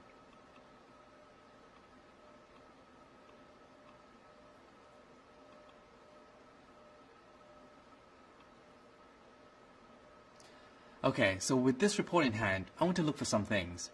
Is the GPO that I want to apply listed? Was it linked to an OU that contains the computer that I'm troubleshooting? Is the GPO that I care about listed under applied GPOs or under denied GPOs? If it was denied, what was the denied reason?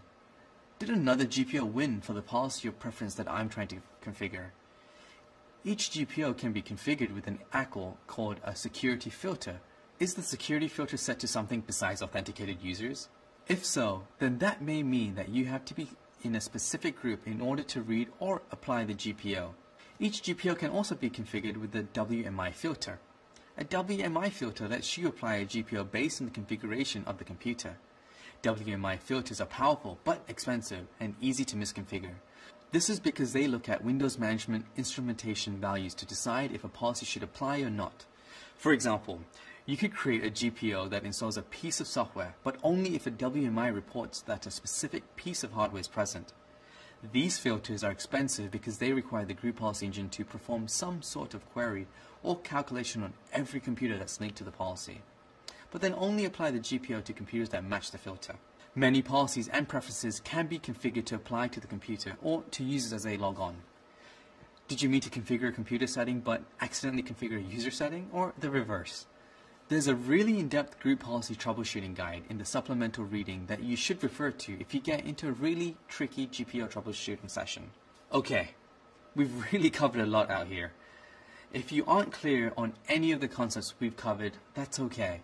Just make sure to rewatch the lessons. Remember though, that the more you work with Active Directory and the group policy, the more familiar you'll become with them. If you use what you've learned about these systems combined with your research skills, you can troubleshoot just about anything.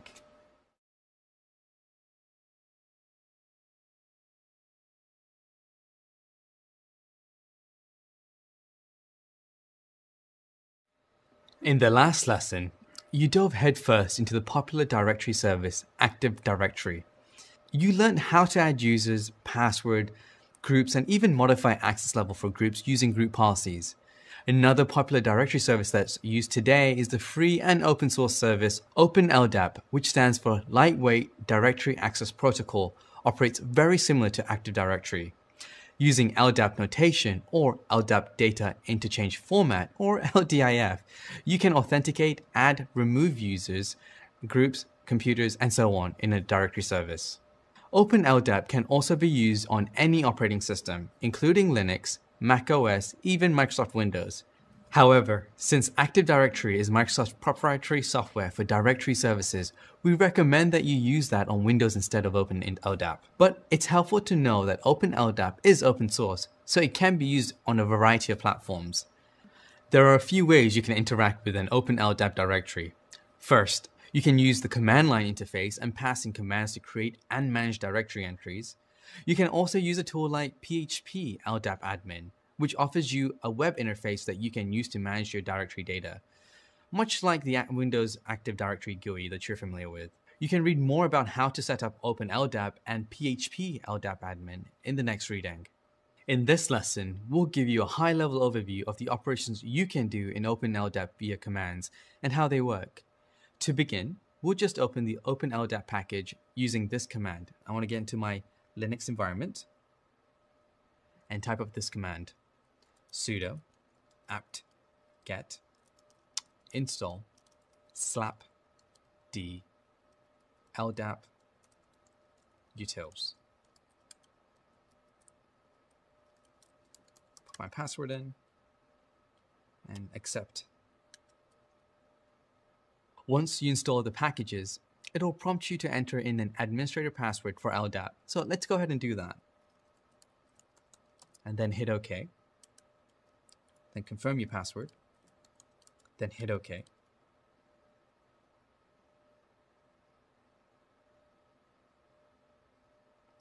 Now that it's installed, we're actually going to reconfigure the slapd package so that we can fine tune our setting. To do that, we're going to run the following command. I want to clear my window and then run sudo dpkg reconfigure slap d. This is going to ask us a bunch of questions about our new setup. We won't cover all of these options, but you can learn more about them in, you've guessed it, the supplemental reading. For now, let's just fill out the settings with these values. So the first option is omit open LDAP server configuration. I'm going to go ahead and say no. Next, DNS domain name. It's similar to Windows AD. This is our organization domain. Let's use example.com. And then hit OK. Organization name. Let's use example. Administrator password. It's the same thing that we entered before. For the database, let's use MDB.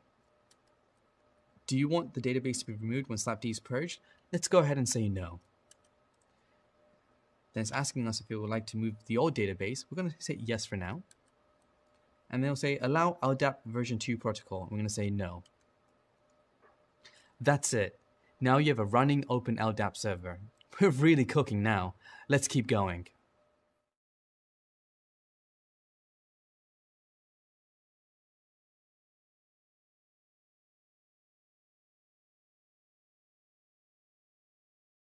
It's easier to manage Open LDAP through a web browser and tool like PHP LDAP Admin. But you can also use command line tools to achieve the same result. I'd recommend you look into setting up PHP LDAP Admin if this is your first setup with Open LDAP. For instructions about how to set up PHP LDAP Admin, check out the supplementary reading. In this lesson, we're going to quickly run down a few of the commands that will allow you to add, modify, and remove entries in your directory. To begin using command line tools, you need to use something known as LDIF files, pronounced LDIF. We've already seen LDIF format or LDAP notation in action. It's just a text file that lists attributes and values that describe something. Here's a simple example of an LDIF file for a user. Even without understanding what the syntax of this file is saying, we can infer that it's talking about an employee named Cindy who works in the engineering department of the company, example.com. We've talked a little bit about what the attributes are referring to in an earlier lesson, but you can refer to the supplemental reading if you want to know what the specific fields mean. For our purposes here though, we just want to see a high level overview of how this works. Once you've written your LDIF files, you're practically done. Depending on what task you want to do to your directory, you'd run commands like these. LDAP add. This takes the input of an LDIF file and adds the context of the files. LDAP modify. As you can guess, this modifies an existing object. LDAP delete. This will remove the object that the LDIF file refers to. LDAP search. This will search for entries in your directory database. It's not important to know the syntax of these commands. You can always look up the syntax on official documentation. But as you can see, it's not scary to work with OpenLDAP. It operates in a very similar way to Windows Active Directory or AD. You can take this knowledge and populate your directory just like you did in Windows AD. If you're curious about the syntax of these commands, check out the supplemental reading on using LDIF files and LDAP commands. Again, if you're considering OpenLDAP as your solution to your directory service needs, I'd recommend looking into the web manager tool, PHP LDAP Admin, that we've included a link to in the next reading. Just like Windows AD, this topic can be pretty extensive, so think about which directory solution best fits the IT needs for your organization. There are lots of reasons why you might want to deploy the help of a directory service like OpenLDAP or Active Directory while working in a systems administration role. Directory services are great for centralized authentication, keeping track of what computers are in your organization, who can access them, and more. Make sure to play around and familiarize yourself with OpenLDAP or PHP LDAP admin to get a better sense of how these directory services work. Checking out the official documentation is always a good place to start. By now, you've learned about all the essential IT infrastructure services. The next topic we'll shift to is how to make sure all the hard work you put into your IT infrastructure doesn't go to waste by learning about disaster recovery and backups. Your hard work is really paying off. High five to that. Now, take a moment to complete the quiz we put together for you. Then we'll meet you back in the next video.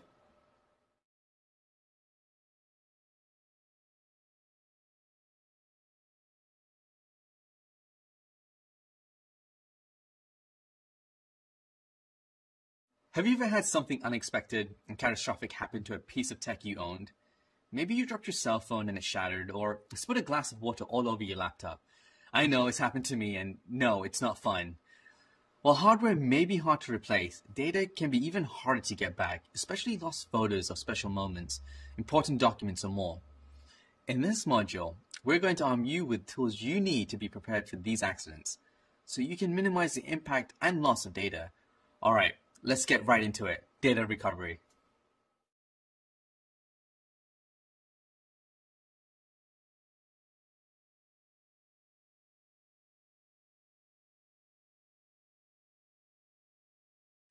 What exactly is data recovery?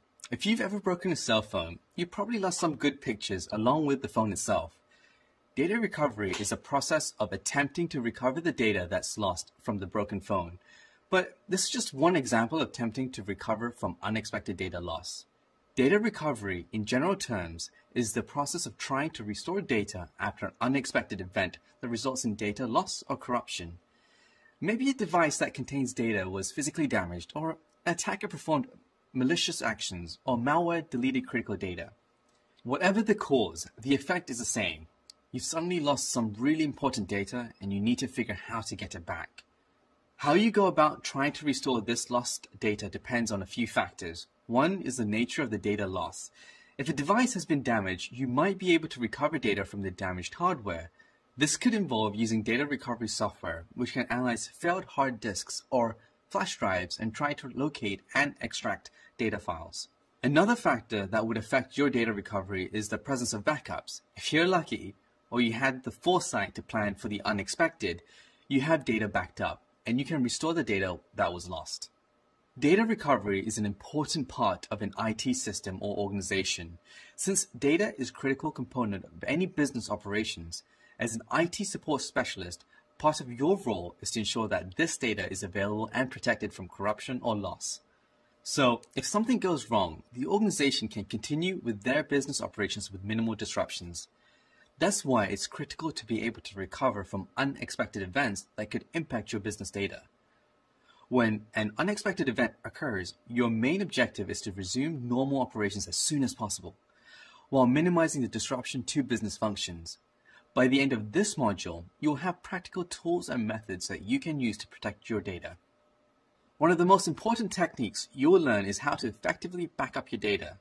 The best way to be prepared for a data loss event is to have a well thought out disaster plan and procedure in place. Disaster plans should involve making regular backups of any and all critical data that's necessary for your ongoing business processes. This includes things like customer data, system databases, system configs, and financial data.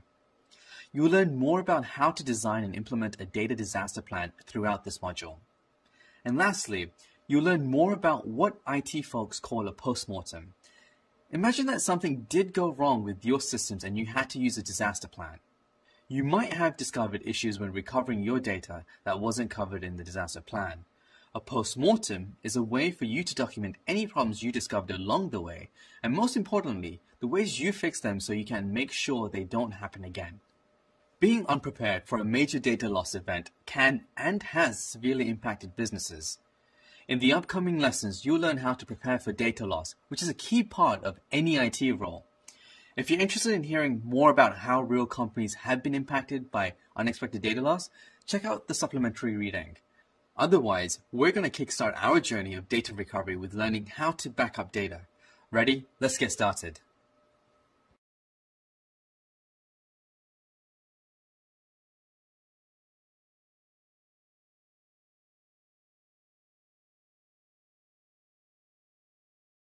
So you want to protect your organization from critical data loss. Good instincts. But where do you start? Let's run down some of the key things to keep in mind when designing a data backup and recovery plan. The first thing to figure out is what data you need to back up. In a perfect world, you should only be backing up data that's absolutely necessary for operations and can't be found in another source. So things like emails, sales databases, financial spreadsheets, server configurations, and databases should all be included. But what about the downloads directory on your laptop? Is it really necessary to back up all those cat pictures too? Probably not. Backing up data isn't free. Every additional file you back up takes up a little more disk space, increasing the overall costs of your backup solution. Once you've figured out what data you like to back up, you should find out how much total data you currently have. But it's not enough just to think about what your backup storage requirements are right now. Your organization may continue to grow and your backup needs to, should grow with it. Make sure that you account for future growth and choose a solution that's flexible enough to easily accommodate increases in data backups. Data can be backed up either locally to systems on site or the backup data can be sent off-site to remote systems. Both approaches have positives and negatives and can help reduce different risks. The advantage of on-site backup solutions is that the data is physically very close. This makes accessing the data a lot quicker. You won't need as much outbound bandwidth since you aren't sending the data out of your internal network. If you need to restore data from backups, that should happen pretty quickly since the data is close at hand.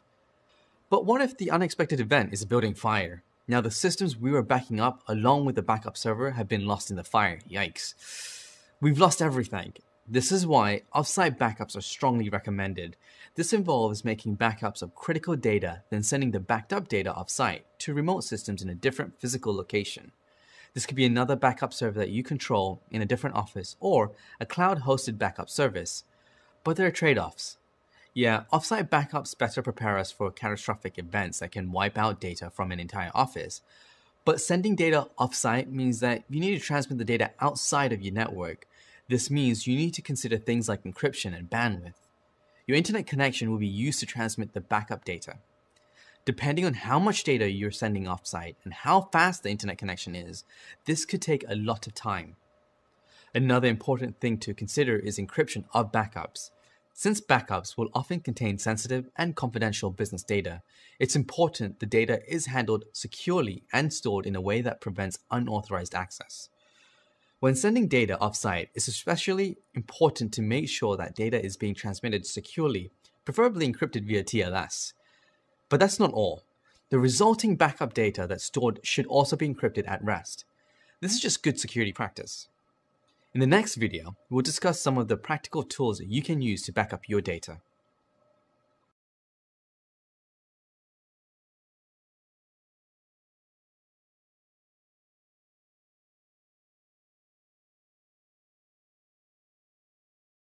So you're looking to bring a backup solution into your organization, but how do you choose between a DIY backup system or one of the many cloud providers? Well, let's start by looking at the trade-offs between the two.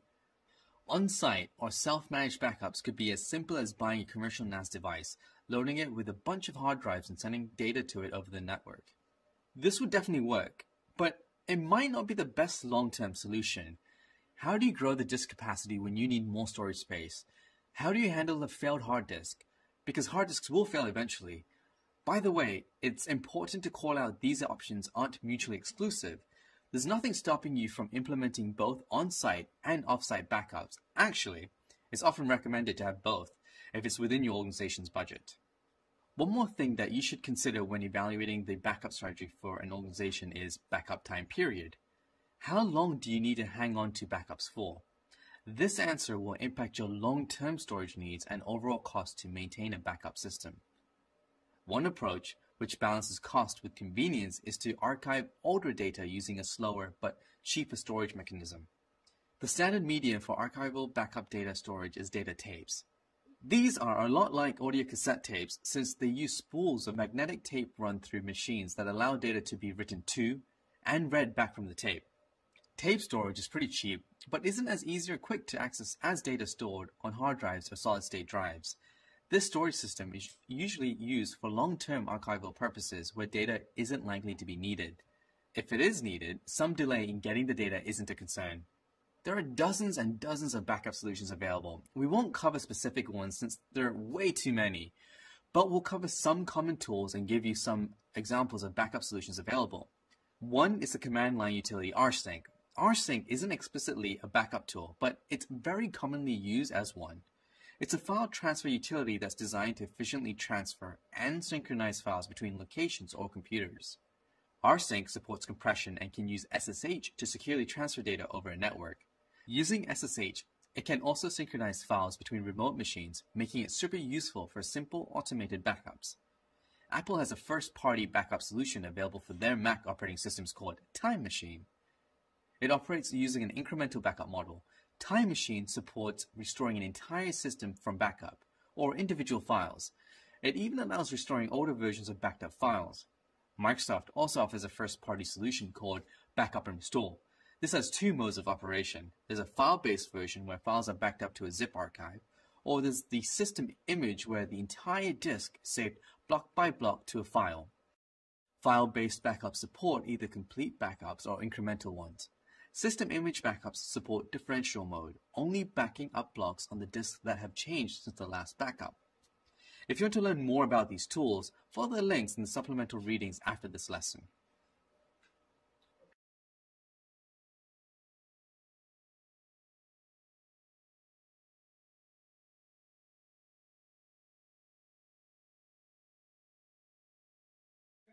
There's one last super important topic when it comes to backups, testing them. The field of IT is littered with tragic tales of IT support specialists and sysadmins attempting to restore data from a backup after a data loss incident, only to discover that their backups are invalid. That's not just embarrassing, it's completely terrifying. The takeaway here is that it isn't sufficient to just set up regular backups. That's only half of the equation.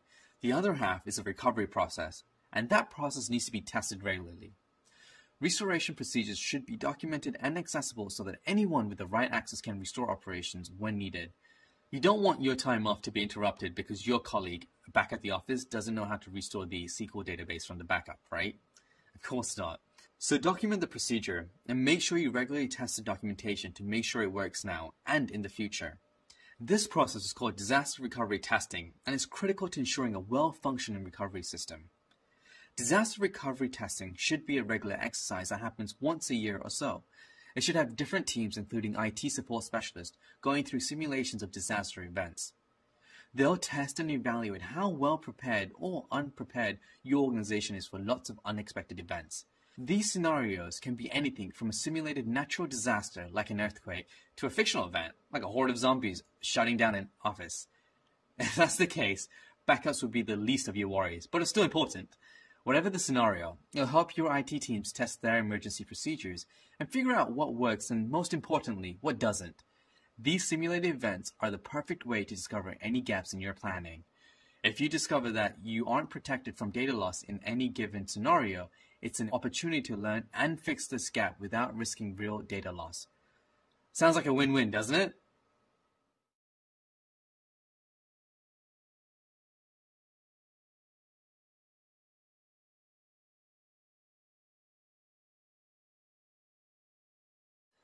So we've talked about how important backups are and why you should be backing up any important data and some tools that can use to help you back up data.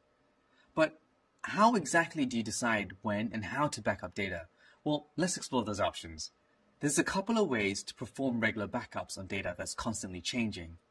You can do a full backup on a regular basis, which involves making a copy of the data to be fully backed up. The full unmodified contents of all files to be backed up is included in this backup mechanism, whether the data was modified or not. In the case of data that doesn't change very often, like operating system configuration files, this approach can be inefficient. You're backing up multiple copies of data that isn't changing, which wastes space and uses bandwidth unnecessarily. That doesn't seem like the best idea, does it? A more efficient approach is to only back up files that have changed or been created since the last full backup, this is called a differential backup. The advantage is that you aren't storing backups of duplicated, unchanging data. Only the files that changed are backed up, saving us some storage space and time to perform the backup. But you wouldn't want to completely stop taking full backups. Over time, you'll wind up tracking and storing lots of copies of files that change a lot, which will also take up more and more disk space over time. To avoid this, it's a good practice to perform infrequent full backups while also doing more frequent differential backups. How often you perform a full backup will depend on how far back you want changes to be tracked. Let's say we perform full backups once every week and differential backups daily. In the worst case scenario, we'll lose close to 24 hours of data changes. That's not bad. Another efficient way to back up changing data is to perform regular incremental backups. While a differential backup backs files that have been changed or created, an incremental backup is when only the data that's changed in files is backed up. This is even more efficient in terms of both disk space and time required compared to differential backups. Again, you'll want to use frequent incremental backups along with less frequent full backups. But because this approach only stores differences in the files that have changed since the last incremental backup, it's possible that all incremental backups are needed to fully reconstruct the files. If one of these incremental backups is missing or corrupt, it might not be possible to recover data any more recently than the last full backup. Another drawback is that recovery might be more time consuming. This is because the most recent version of backed up data has to be recreated by integrating the last full backup with each incremental backup that follows. For super large files that are changing frequently, this could require a lot of time to process. One more thing backup systems can do to help save space is file compression. When creating a backup, all the files and folder structures will be copied and put into an archive. Archives are useful for keeping files organized and preserving folder structure. Besides archiving the files, backups can also be compressed. This is a mechanism of storing the same data while requiring less disk space by using complex algorithms. Those are way too complicated to go into detail here, but it's important to call out that not all data types lend themselves to being compressed. This means that space savings from compression will depend on what you're backing up. Another thing you should know about compressing backups is the expense of restoration. To recover data from a backup, it needs to be decompressed first. Depending on the size of your backups, this could take a lot of time and disk space to expand. We touched on backup storage location a bit in the last lesson, but let's dive into a little more detail. Good news, there's a pretty cheap and easy to maintain option out there for storing backup data on site. You can use a commercial NAS device or configure a file server with a large amount of disk space. Wherever you choose to store your backup data, you'll need a lot of space. You could go out and buy a giant 10 terabyte hard disk, which could work for a little while, but what do you do once your backup data grows to fill that one disk? Are they even making disks larger than 10 terabytes yet? Another thing to worry about is what you do if that one disk holding all your backed up data fails. Yikes, that wouldn't be good. These are issues a RAID array can address. RAID stands for Redundant Array of Independent Disks. It's a method of taking multiple physical disks and combining them into one large virtual disk. There are lots of types of RAID configuration called levels. Depending on the characteristics desired from the array, various RAID levels prioritize features like performance, capacity, or reliability. RAID arrays are a great, inexpensive way of creating a lot of data capacity while minimizing risk of data loss in the event of disk failure. They can even be flexible enough to allow future growth in disk capacity. We won't go into the nitty-gritty details of the different RAID levels available, but if you want to learn more, check out the supplemental readings at the end of this lesson. I want to stress the fact that RAID isn't a backup solution, it's a data storage solution that has some hardware failure redundancy available in some of the RAID levels. But storing data on a RAID array doesn't protect against accidentally deleting files or malware corrupting your data. This is so important that I'm going to say it one more time. RAID is not a replacement for backups.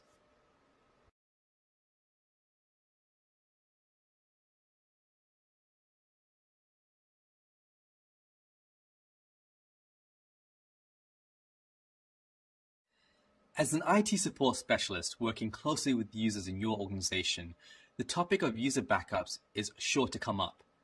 We've already covered backing up mission critical operational data, but what about the spreadsheets and PDFs on Carly's laptop? She's going to want to make sure that she doesn't lose those if her laptop gets stolen. While it's important to have a backup solution for infrastructure and critical systems, you also have to think about your users and their valuable files. Ensuring reliable backups for client devices is a bit more challenging than infrastructure devices. There are likely to be lots of more client devices to back up compared to infrastructure ones. Plus, there are laptops, phones, and tablets that won't be in the office all the time. One solution to user backups is to use a cloud service designed for syncing and backing up files across platforms and devices. Some examples of these are things like Dropbox, Apple iCloud, and Google Drive, which are simple and straightforward to use. There's no complicated scheduling or configuration compared to infrastructure backups. They make it easy for users to configure what files or folders they want to have backed up and then ensure the files are synchronized with what's stored in the cloud. As an IT support specialist, this is especially relevant. When users accidentally spill a cup of coffee on their laptop, they're going to come to you hoping their precious family photos can be saved. Getting users set up with an easy to use and effective backup system for their files is a great way to avoid this situation.